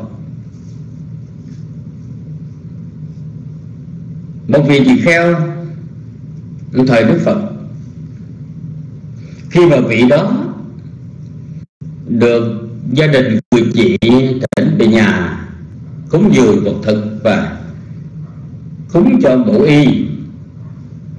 Vải mới. Vị này rất thích cái bộ y mới, bởi vì y mặc đã cũ rồi. Cho nên khi mà được cái bộ y thì vị đó thích thú thầm đắm. Thì khi mà vị dính mắc cái bộ y đó, đến chiều cái vị đó, đột ngột bị trúng gió mà chết. Chết sẽ là con rệp ở trong cái bộ y đó. Lý trí của y mà. Để chưa tăng các vị tỳ kheo, lúc đó luật đức phật là chưa có chế định. Cho nên các vị đó sau khi quả tán xong cái thi hài của vị tỳ kheo đó rồi mới đem chia y bác. Thì con rệp ở trong bộ y á, tức là hậu thân của tỳ kheo chạy tới chạy lui mới nói rằng xin chư tăng đừng có cướp y của tôi vân vân. Thì đức phật ngài với thiên nhĩ. Ngài nghe ngài mới bảo các vị tỳ kheo hãy để bộ y đó lại. Bảy ngày sau khi mà con rệp nó bệnh chung rồi đó tái sinh đi chỗ khác thì lúc giờ bên chia ra, đức phật này ra cái luật từ nay về sau. Khi có vị tỳ kheo trong chùa mà tịch chết qua đời, thì vật dụng y phục, y bác của vị đó để lại đó phải để lưu lại cho đến 7 ngày sau mới đem ra chia cho chư tăng, chứ không nên chia liền. Không nên chia liền trong ngày hôm đó, để ngừa trường hợp chúng sanh mà còn lý tiết cho nên quý vị cũng mệt lắm. Còn vật thực một vị sa di gọi là pha cái này giác vị sa di cháu của ở trưởng lão Sankharakata. Ông sa di nhỏ đó đi khất thực về ngồi ăn một cách say xưa, một cách tham đắm. Thì ngài lập vị a la hán ngài mới nhắc này sa di ông không nên tử của ông bằng cách là ăn mà không quán tử. Vị tỳ khác vị sa di đó nghe vậy, xấu hổ quá, bắt đầu tỉnh lại, ngồi quán tưởng. Cái vị đó phát triển bình sát và chứng a la hán ở đây thưa quý vị, ăn nhưng mà lúc tôi đầu ăn bằng cái tâm tham đắm đó thì cái ăn đó, đó cái vật thực đó không không đáng thọ dụng. Nhưng mà khi sau đó vị này khởi lên cái sự cái trí quán tưởng bá chung với khai nát nhà nát quán tưởng cái vật vật thực mà mình thọ dùng làm cho ngăn được cái tâm tham đắm vật thực và tiến hành phát triển được tuệ minh sắc và chứng đạo quả thì cái cái sự an cái sự thọ dụng này là là rất xứng đáng. Thì ở đây chúng ta phải hiểu được cái trú xứ của vị thì chúng ta phải chú ý ở chỗ đó.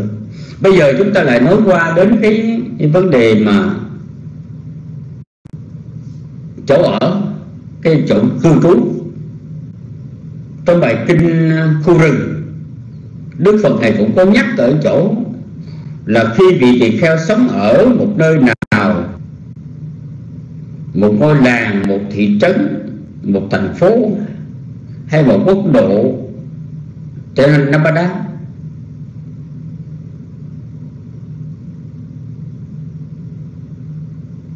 hoặc là khi ở thân cận với một người nào mà khi biết rằng là ta sống ở đây hay là thân cận với người này? Đã lâu ngày, ta không khởi lên cái tâm định tĩnh. Các lậu hoặc ta chưa được đoạn trừ, thiện pháp bị thối giảm không có trưởng thời suy nghĩ như vậy thôi là phải bỏ chỗ đó mà đi, bỏ người đó mà đi liền, tức khắc trong đêm. Còn nếu như mà xét thấy rằng ta ở đây hay là thân cận với người này mà khiến cho thiện pháp được tăng trưởng, tâm chưa định tĩnh, được định tĩnh, những thiền định đạo quả chưa chứng đạt, đã được chứng đạt thì này cái tỳ kheo cho dù ở tại cái quốc độ đó tại ngôi làng đó hay là sống thân cận với người đó khiến mình ít có phát sinh tứ vật dụng cuộc sống vật chất khó khăn nhưng mà cũng phải ở lại chứ không nên bỏ đi. Để trong bài kinh khu trường đại khái như vậy. Thì ở đây chúng ta cũng nên hiểu rằng cái trú xứ cái quốc độ cái uh, cái nơi cư trú của chúng ta nó cũng quan trọng lắm. Chúng ta, thời buổi bây giờ thì chúng ta ở đâu ở yên đó? Ở chùa nào ở yên chùa nấy, ở cái xứ nào ở yên xứ nấy. Bây giờ thí dụ chúng tôi ở vĩnh long, thì bây giờ nếu mà ở vĩnh long mà có thấy nó trục trặc, cái sự tu tập thì hãy chúng tôi cũng không có bỏ đi được đi chỗ khác. Bởi vì nó, thời giờ cái hành tránh cái chỗ mà mình thường trú cái tờ nó hợp pháp đi đến chỗ khác. Mình đến đến chơi vài bữa thì được, chứ còn nếu mà đến, gọi là ở, thực thụ thì nó cũng khó khăn lắm. Cho nên bây giờ cái trường hợp này cũng hơi khó. Còn cái việc mà thân cận với người khi mà mình thân cận với người nào mà khiến cho thiện pháp được tăng trưởng thì chúng ta nên thân cận, nên tiếp xúc, nên gần. Còn khi mà chúng ta thân cận với người nào mà khiến cho cái thiện pháp chúng ta nó bị suy giảm, bởi vì ở gần cái người thất niệm hay là ở gần cái người ác giới, hoặc là ở gần cái người thiểu trí, hoặc là một người ngu dốt, không hiểu biết, thì mình không có lợi ích gì hết. Cái đó không nên thân cận. Còn ở gần cái người có niềm tin người có tinh tấn, có giữ giới. Người có đa văn trí tuệ. Khi mà chúng ta ở gần đó, có thắc mắc gì thì chúng ta hỏi. Và chúng ta tu tập cái chỗ nào mà không thông thì chúng ta, nhờ vị đó sẽ giải tỏa giúp cho chúng ta. Thì nhờ vậy mà chúng ta được tiến bộ. Thì cái này là nên nên thân cận. Người này là nên thân cận. Ở cái cái xứ nào, cái chỗ nào có lần nào mà chúng ta có thể tu tập dễ dàng thì cái ở cho nên cư trú. Còn nếu không thì thôi, nên bỏ đi. Cái đó, ý nghĩa là như vậy. Còn cái chuyện mà chúng ta có thực hành hay không, có áp dụng hay không thì đó chúng ta tùy theo hoàn cảnh. Thì thưa quý vị, tôn giả Sariputta là một người và được Đức Phật là 8 tháng, là bậc đại trí tuệ, bậc tiệp tuệ, bậc mẫn tuệ quảng tuệ. Cái điều đó không phải là ngoa. Những điều mà Đức Thế Tôn ngài thuyết một cách tóm tắt thì tôn giả Sariputta đã trình bày một cách rộng rãi trước mặt Đức Thế Tôn và Đức Thế Tôn tám tháng ngài nói rằng nếu như những vị sắc đế lị và la môn, các vị phệ xá, thương gia gia chủ hay là những vị nô lệ, những chúng sanh nô lệ mà được nghe tóm tắt mà hiểu rộng như vậy, để tu tập được thì đó là lợi ích an lạc lâu dài. Đức Phật phải 8 tháng, tôn giả Sariputta thì đó là nội dung của bài kinh ngày hôm nay mà chúng tôi xin được trình bày với quý vị. Nãy chúng tôi xin phép tới 10 tới chín rưỡi, bây giờ là chín giờ 35 xin dứt lời ở đây. Xin kính thỉnh thượng tọa cho đẳng trở lại điều họp. Năm một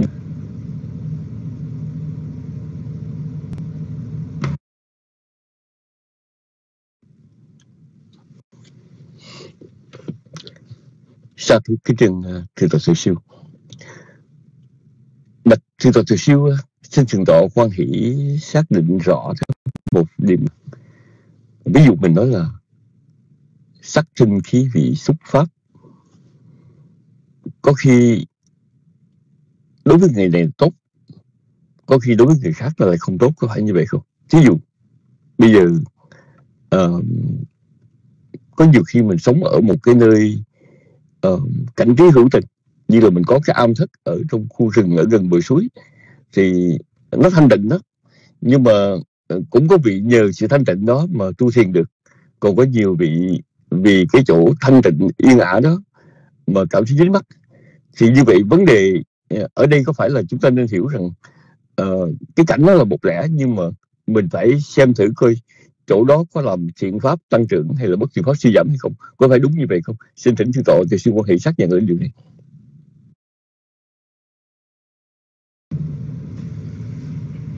À, kính bạch chư tôn đức kính thưa quý vị. Hồi nãy chúng tôi đã xác nhận cái điều đó rồi. Cảnh là cảnh. Cảnh đó vô thưởng vô phạt. Cảnh đó chỉ là pháp vô ký do nơi cái tâm xử sự cảnh, hưởng cảnh, mà nó trở thành là cảnh sắc nên tiếp xúc hay là không nên tiếp xúc.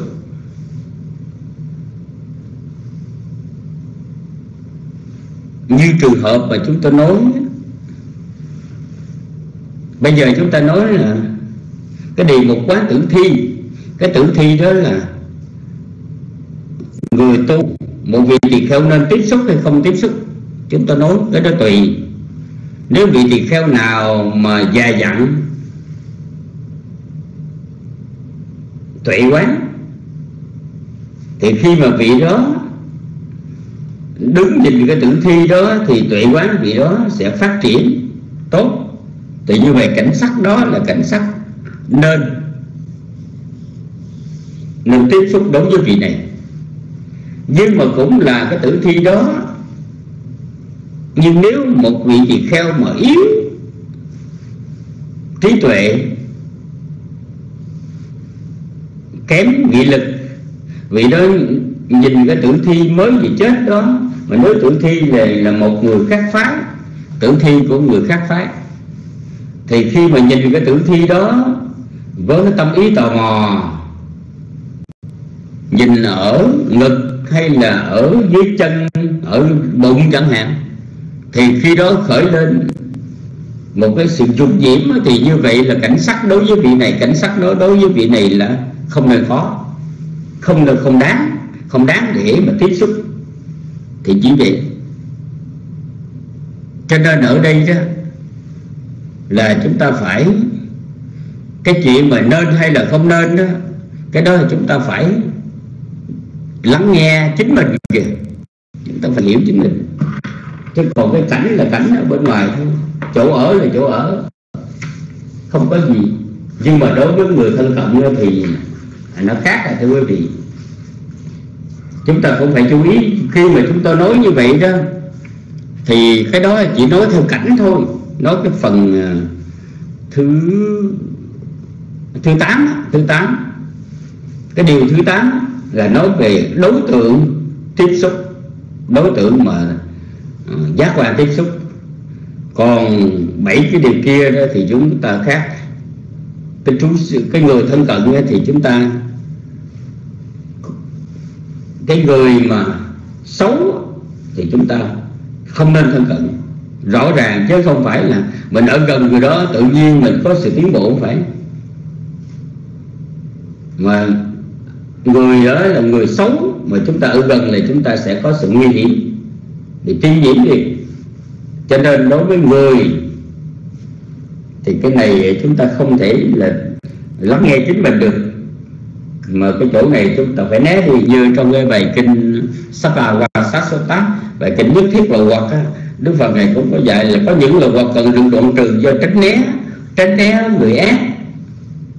Đức Phật còn đã dạy như thế thì chúng tôi xin trả lời cái câu hỏi của thượng tọa. Nam mô bổn thầy.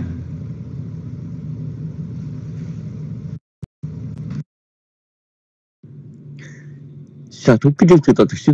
Mà Thượng Tọa Thực Sư Thường Tọa Khoan Hỷ nói rõ là khi mà chúng ta nói đến hành trì hay không là hành trì ở đây đó có phải là chúng ta nói về sự tiếp xúc sự thân cận uh, mà nó có tất lặp đi lặp lại và từ sự lặp đi lặp lại đó nó có ảnh hưởng.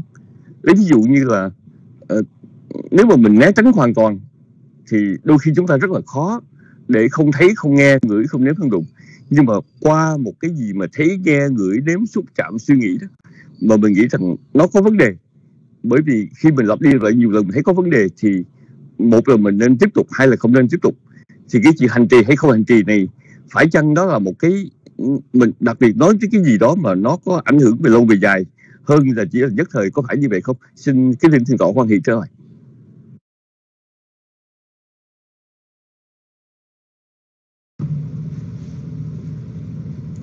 Kính bạch chư tân kính thưa quý vị. Khi nãy trong cái ờ,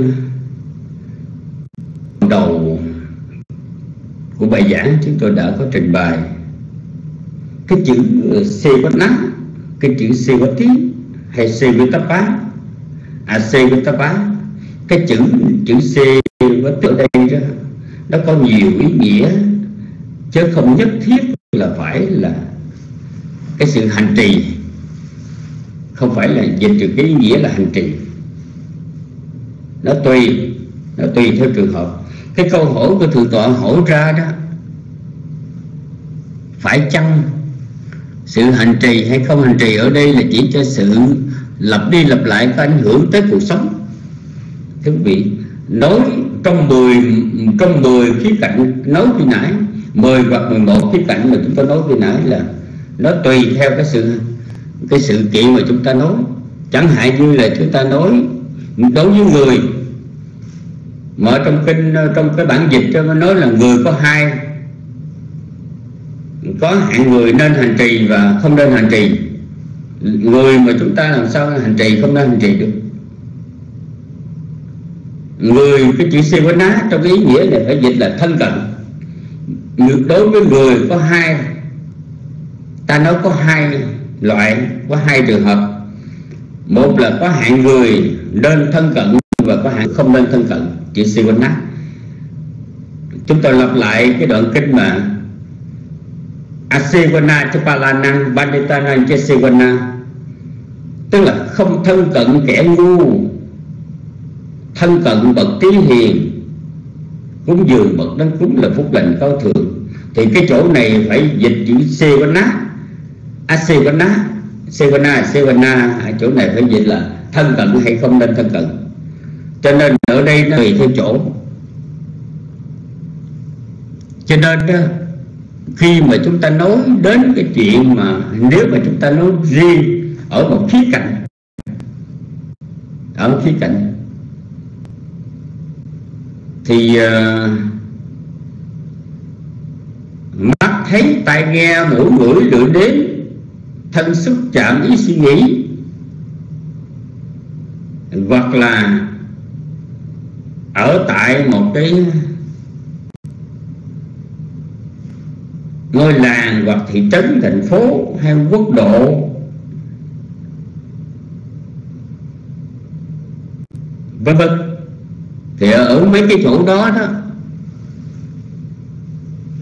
mới nói rằng là cái sự lặp đi lặp lại nó ảnh hưởng tới cuộc sống. Ảnh hưởng tới cuộc sống. Thoạt đầu khi mà chúng ta thấy cảnh sắc á, là cái tâm bất thiện nó chưa có sanh khởi. Thí dụ như chúng ta mới đến cái ngôi chùa đó, mới tiếp xúc với một phật tử.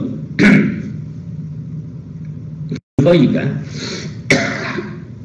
Lúc đó, cái đối tượng này, cái cảnh sắc này, cảnh thinh này, nghe người ta nói chuyện, nó chưa phải là một vấn đề mà nên hay là không nên tiếp xúc nữa. Bởi vì chưa. Nhưng mà do cái sự tiếp xúc lâu dài lặp đi lặp lại đó cái mới bắt đầu cái tâm nó uh, biến tâm sinh biến. Thì lúc đó đó là mới đặt cái vấn đề là à cho đến bây giờ thì vị đó phải xác thấy đối với cảnh sắc này cảnh thân này là ta không nên tiếp xúc tiếp tục. Bởi vì lặp đi lặp lại thì ảnh hưởng ảnh hưởng cái tâm như trong tương bộ kinh đức phật này dạy khi vị tỳ kheo và vị tỳ kheo đi mà cứ hàng ngày cứ gặp hàng ngày cứ gặp như vậy rồi phát sinh lên cái tâm, tâm lý ái với nhau đi đến chỗ không tốt đẹp thì đức phật nói do thân cận giao thiệp tham ái từ đấy sanh. Thì cái trường hợp này mới là mới là đặt cái vấn đề là lặp đi lặp lại. Còn ở trong các cái trường hợp khác á, thì chúng ta không nói cái sự hành trì không nên hành trì lặp đi lặp lại. Chẳng hạn như thân hành bất thiện hay là thân ác hạnh khổ ác hạnh ý ác hạnh thì cái đó là dứt khoát phải từ bỏ liền, chứ không thể nói rằng cái thân hành bất thiện này, cái thân ác hạnh này vì đã lặp đi lặp lại nhiều lần, cho nên mới có sự ngại còn giờ tôi mới làm lần đầu tiên thì chưa thấy ảnh hưởng gì. Không nên nói như vậy.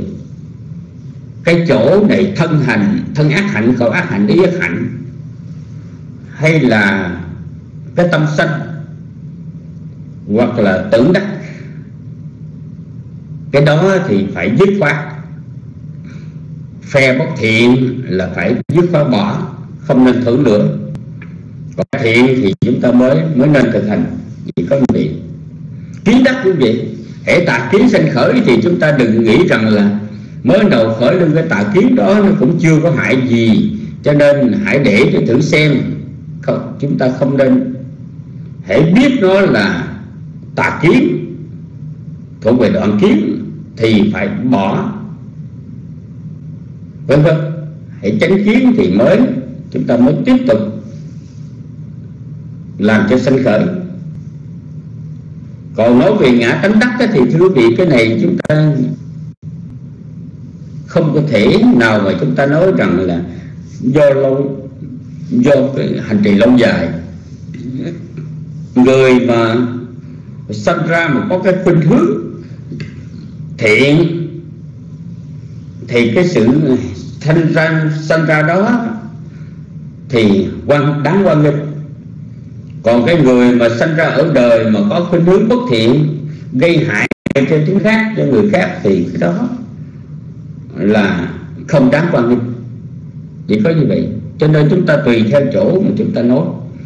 Thành ra trong cái câu thảo luận số 2 của thượng tọa nêu ra ở đây thì chúng tôi chỉ xin trình bày rằng là có những trường hợp mới nói đến như là cảnh sát năng thinh khi bị tiếp xúc với sắc tinh khi bị xúc hay là à, à, cư trú ở một nơi cư trú nơi nào đó thì cái trường hợp này vì lâu vì dài đó thì nó mới có ảnh hưởng đến cái cuộc sống tu tập còn như mấy cái trường hợp khác thì nó hai cái nó có lần ranh rõ ràng. Cái nào là bất thiện không đơn là không đơn còn cái nào thuộc về thiện nên là nên chứ không thể nào mà chờ đợi cái, cái chỉ cho cái sự lặp đi lặp lại thân cận nhiều lần cũng vậy chúng tôi xin được trả lời cái câu hỏi về nam mô bổn thầy.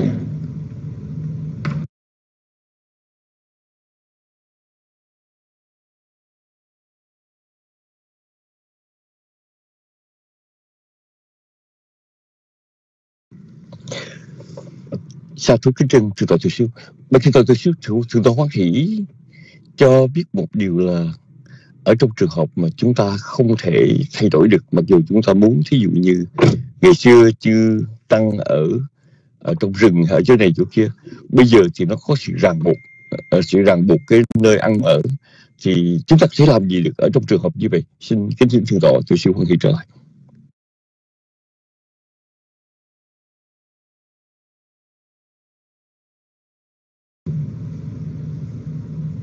chúng tôi bận uống nước, chúng tôi không có à, nghe rõ thượng tọa đã hỏi cái câu hỏi thế nào.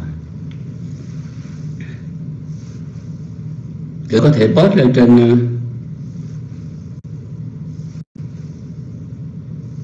có thể post lên trên à, màn hình để chúng ta xem cái câu hỏi như sau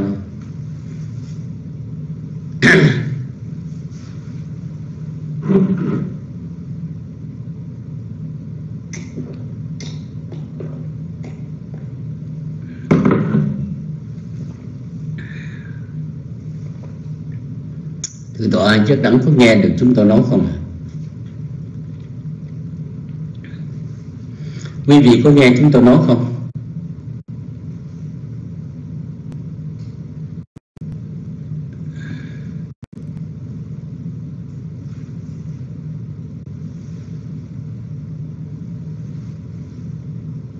Chắc có lẽ là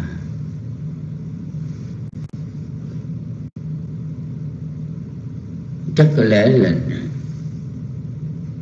hình như cái câu này cái chữ à, thì pháp làm sao? Chữ pháp làm sao? Hình như là chữ phải chứ anh không biết phải không, không biết đúng đúng là chữ phải hay không. Nếu một tu sĩ không có khả năng lựa chọn chỗ cư trú thì phải thì phải làm sao chứ? Pháp làm sao thì không không có rõ nghĩa vậy đúng là đúng sao thượng tọa? Chứ phải phải không? Còn Nhật Quỳnh được khi mà post lên trên, cô đọc dùm cái cái chữ đó nếu mà có sai chính tả đó thì cô phải chỉnh lại dùm nữa chứ.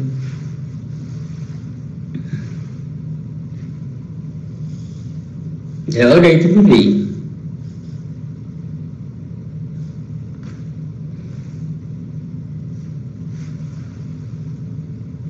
chúng ta thời buổi bây giờ không có cái, có những cái hoàn cảnh mà chúng ta không không thể lựa chọn một cái chỗ cư trú thích hợp. Nhất là thời buổi bây giờ nó không được giống như thời Đức Phật.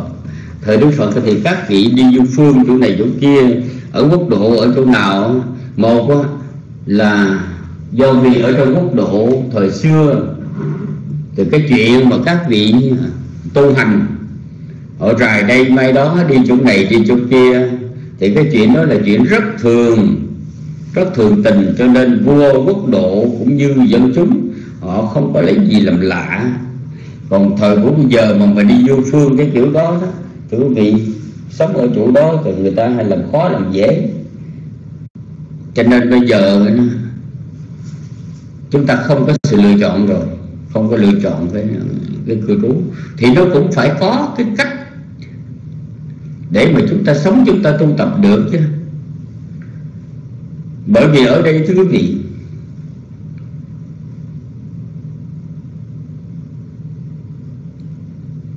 tâm nó bị chi phối. Một, do cái thường cận y duyên là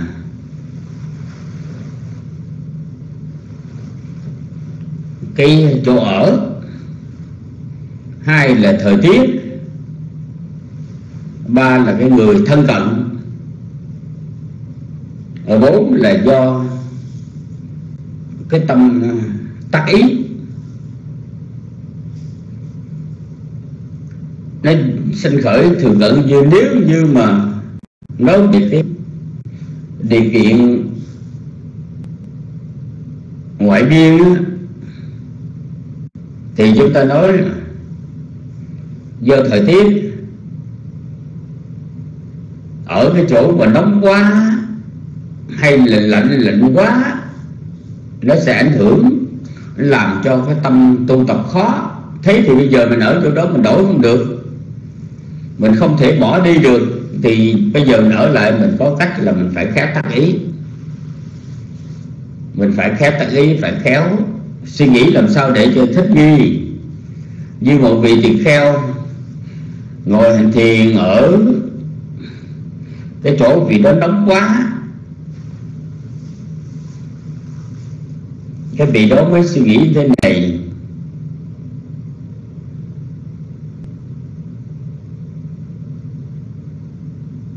Cái cái sự nóng này ở khỏi người đó, cái sự nóng này nó không thấm thấm tháp gì bao nhiêu đối với cái nóng ở trong cảnh địa ngục. Nếu mà ta không có sự tinh tấn nỗ lực để tu tập đó, nếu mà rủi mệnh chung mà sanh xuống địa ngục thì cái sức nóng nó còn chịu gấp trăm gấp ngàn lần này nữa.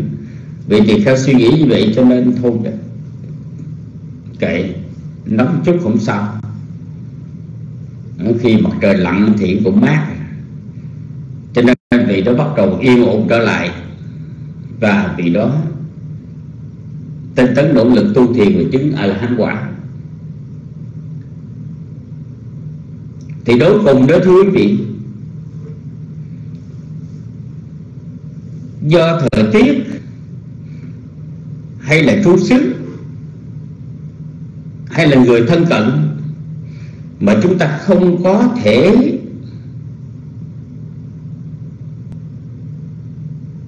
quán chuyển được, không có thể thay đổi được, không có thể lựa chọn ở một nơi thích hợp được thì trong trường hợp đó thì chúng ta phải tự mình có cái sự khéo tác ý Yoniso Manasikara tức là khéo tác ý và trí tuệ. Sao vậy? Chúng ta suy nghĩ như thế này.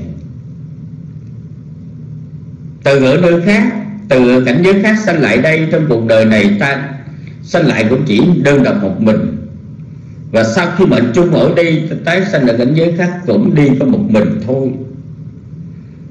Do đó cho nên ta không lệ thuộc ai hết.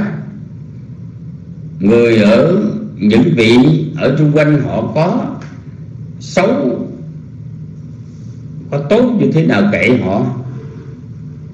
Mình đừng có để cho cái tâm của mình ảnh hưởng xu hướng theo đừng có theo cái cách mà ai sao tôi vậy, ai làm bậy tôi cũng làm theo đó. Chúng ta đừng làm như vậy. Thì chúng ta phải có cái sự cứng rắn, dứt khoát là chỗ ở này mình phải kham nhẫn hay là mình phải có sự tinh tấn, phải dùng trí tuệ để suy xét cho nó thích nghi cái, cái, nếu mà trong trường hợp mà chúng ta không có lựa được thì chúng ta phải phải có những cái ờ, yếu tố như vậy. Như vậy nói là cũng cam go lắm thưa quý vị. Bởi vì cái tâm của cái tâm của chúng ta nó rất yếu. Nó hay bị chi phối bởi ngoại cảnh chi phối bởi ngoại cảnh. Mình ở cái trú xứ hay là chúng ta đi ra, đi vào, cứ gặp cái người bất thiện pháp người ác thì tự nhiên cái tâm riết rồi riết rồi chúng ta cũng sẽ cũng sẽ bị bực bội, khó chịu.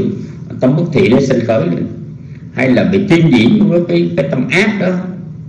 Cho nên khó lắm chứ phải. Nhưng mà bây giờ thì à, khi mà giả dụ đặt vấn đề là một tu sĩ mà không có tha, lựa chọn cái chỗ tương xứ thích hợp được thì bây giờ mình phải chấp nhận bằng cách là chúng ta phải quay về cố thủ nội tâm của mình. Chúng ta gọi là quay về cố thủ, tức là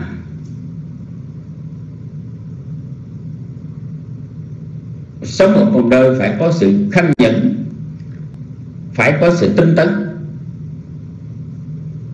và phải chọn cho mình một cái đề mục mà tu tập. Thì như vậy chúng ta cố thủ cái đó, như vậy thì chúng ta mới có thể tiến bộ được. Nếu trường hợp mà chúng ta không đổi được cái thu sức chúng tôi xin được trả lời cái câu hỏi của thượng tọa giác đẳng như vậy chỉ còn một phút để thỉnh thượng tọa kết thúc lại bài học ngày hôm nay.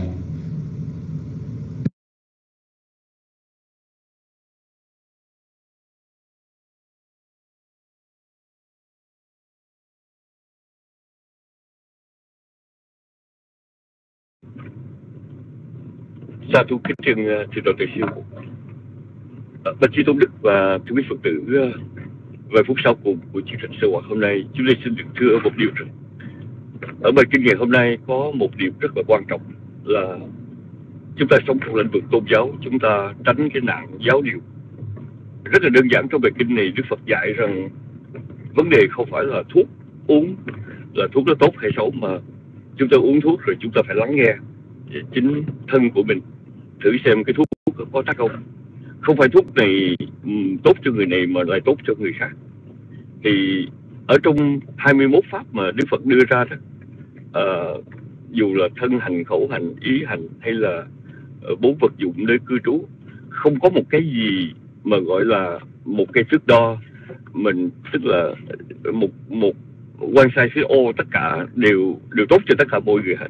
Và Đức Phật dạy rằng chúng ta hãy lắng nghe chính mình chúng ta lặp đi lặp lại theo thời gian mà mình thấy nó tốt thì chúng ta nên tiếp tục. Không tốt thì chúng ta nên chấm dứt. Bởi vì không ai làm việc đó cho chúng ta cả.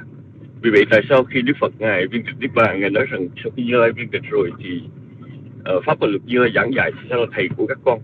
Chúng ta rất là dễ bị cái bệnh giáo điều uh, ờ, cũng như một người chấp một một phương thuốc gì đó và áp dụng cho tất cả mọi người.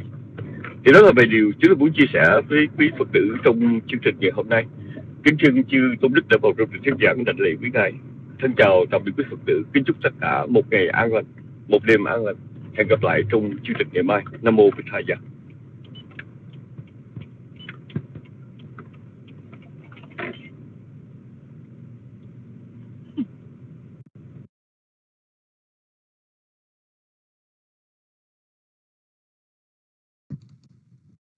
sa thú sa thú lành thai con nhật huỳnh xin thay mặt đại chúng trong room chúng con kính tri ân chư tôn đức đã mở lòng bi mẫn, giảng dạy Phật pháp hữu ích cho chúng con, đã hướng dẫn dìu dắt chúng con tiến bước trên hành trình tu tập. Hầu mong đem lại an lạc trong đời sống và hướng đến đạo quả giải thoát luân hồi. Kính cảm ơn đại chúng đã lắng tâm thanh tịnh thính pháp. Kính cảm ơn quý chủ nhiệm ốp sương ngôn viên đã yểm trợ cho các phần hành trong lớp học được hoàn tất mỹ mãn thường lạc thật sự viên thành. Kính chúc quý đạo hữu luôn an lạc các tường trong chánh pháp nhiệm màu của đức từ phụ thích ca mâu ni. Để kết thúc chương trình, xin chúng ta nhất tâm hồi hướng. Nguyện công đức đã làm, kết duyên lành giải thoát. Nguyện hồi hướng chư thiên, hàng thiện thần hậu pháp. Nguyện các bậc hữu ân, đồng thừa tư công đức. Nguyện chánh pháp trường tồn, chúng sanh cầu giải thoát. Nam Mô Bích Tha Giá Dạ Nhật Quỳnh kính cảm ơn tất cả quý vị, đã cho Nhật Quỳnh biết được tín hiệu Nam Mô Bích Tha Giá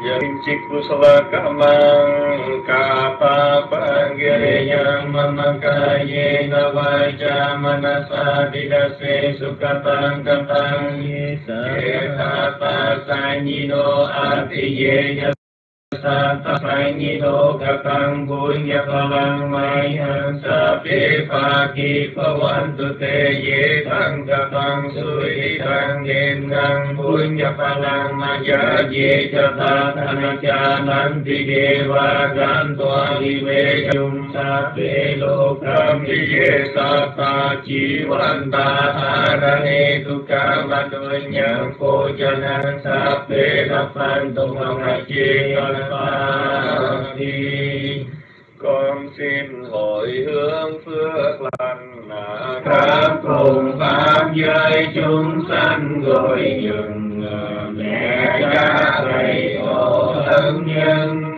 hiện tiền quá ban tròn phần phước duyên cầu xin hộ pháp chư thiên, phát tâm hoan hỷ bao truyền gần xa cầu cho mưa thuận cho hòa pháp luân thường chuyển nhà nhà an thương chúng sanh ba cõi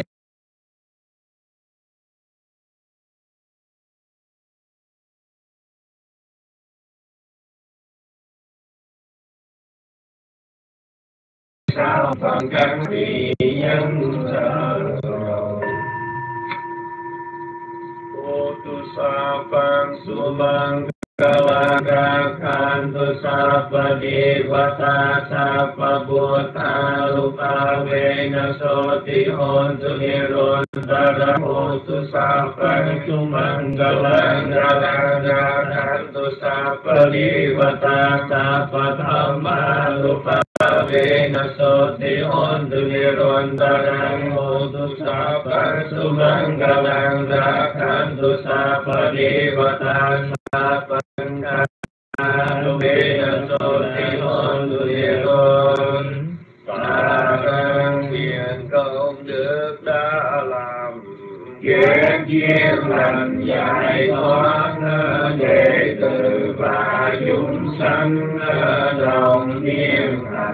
hành chân giác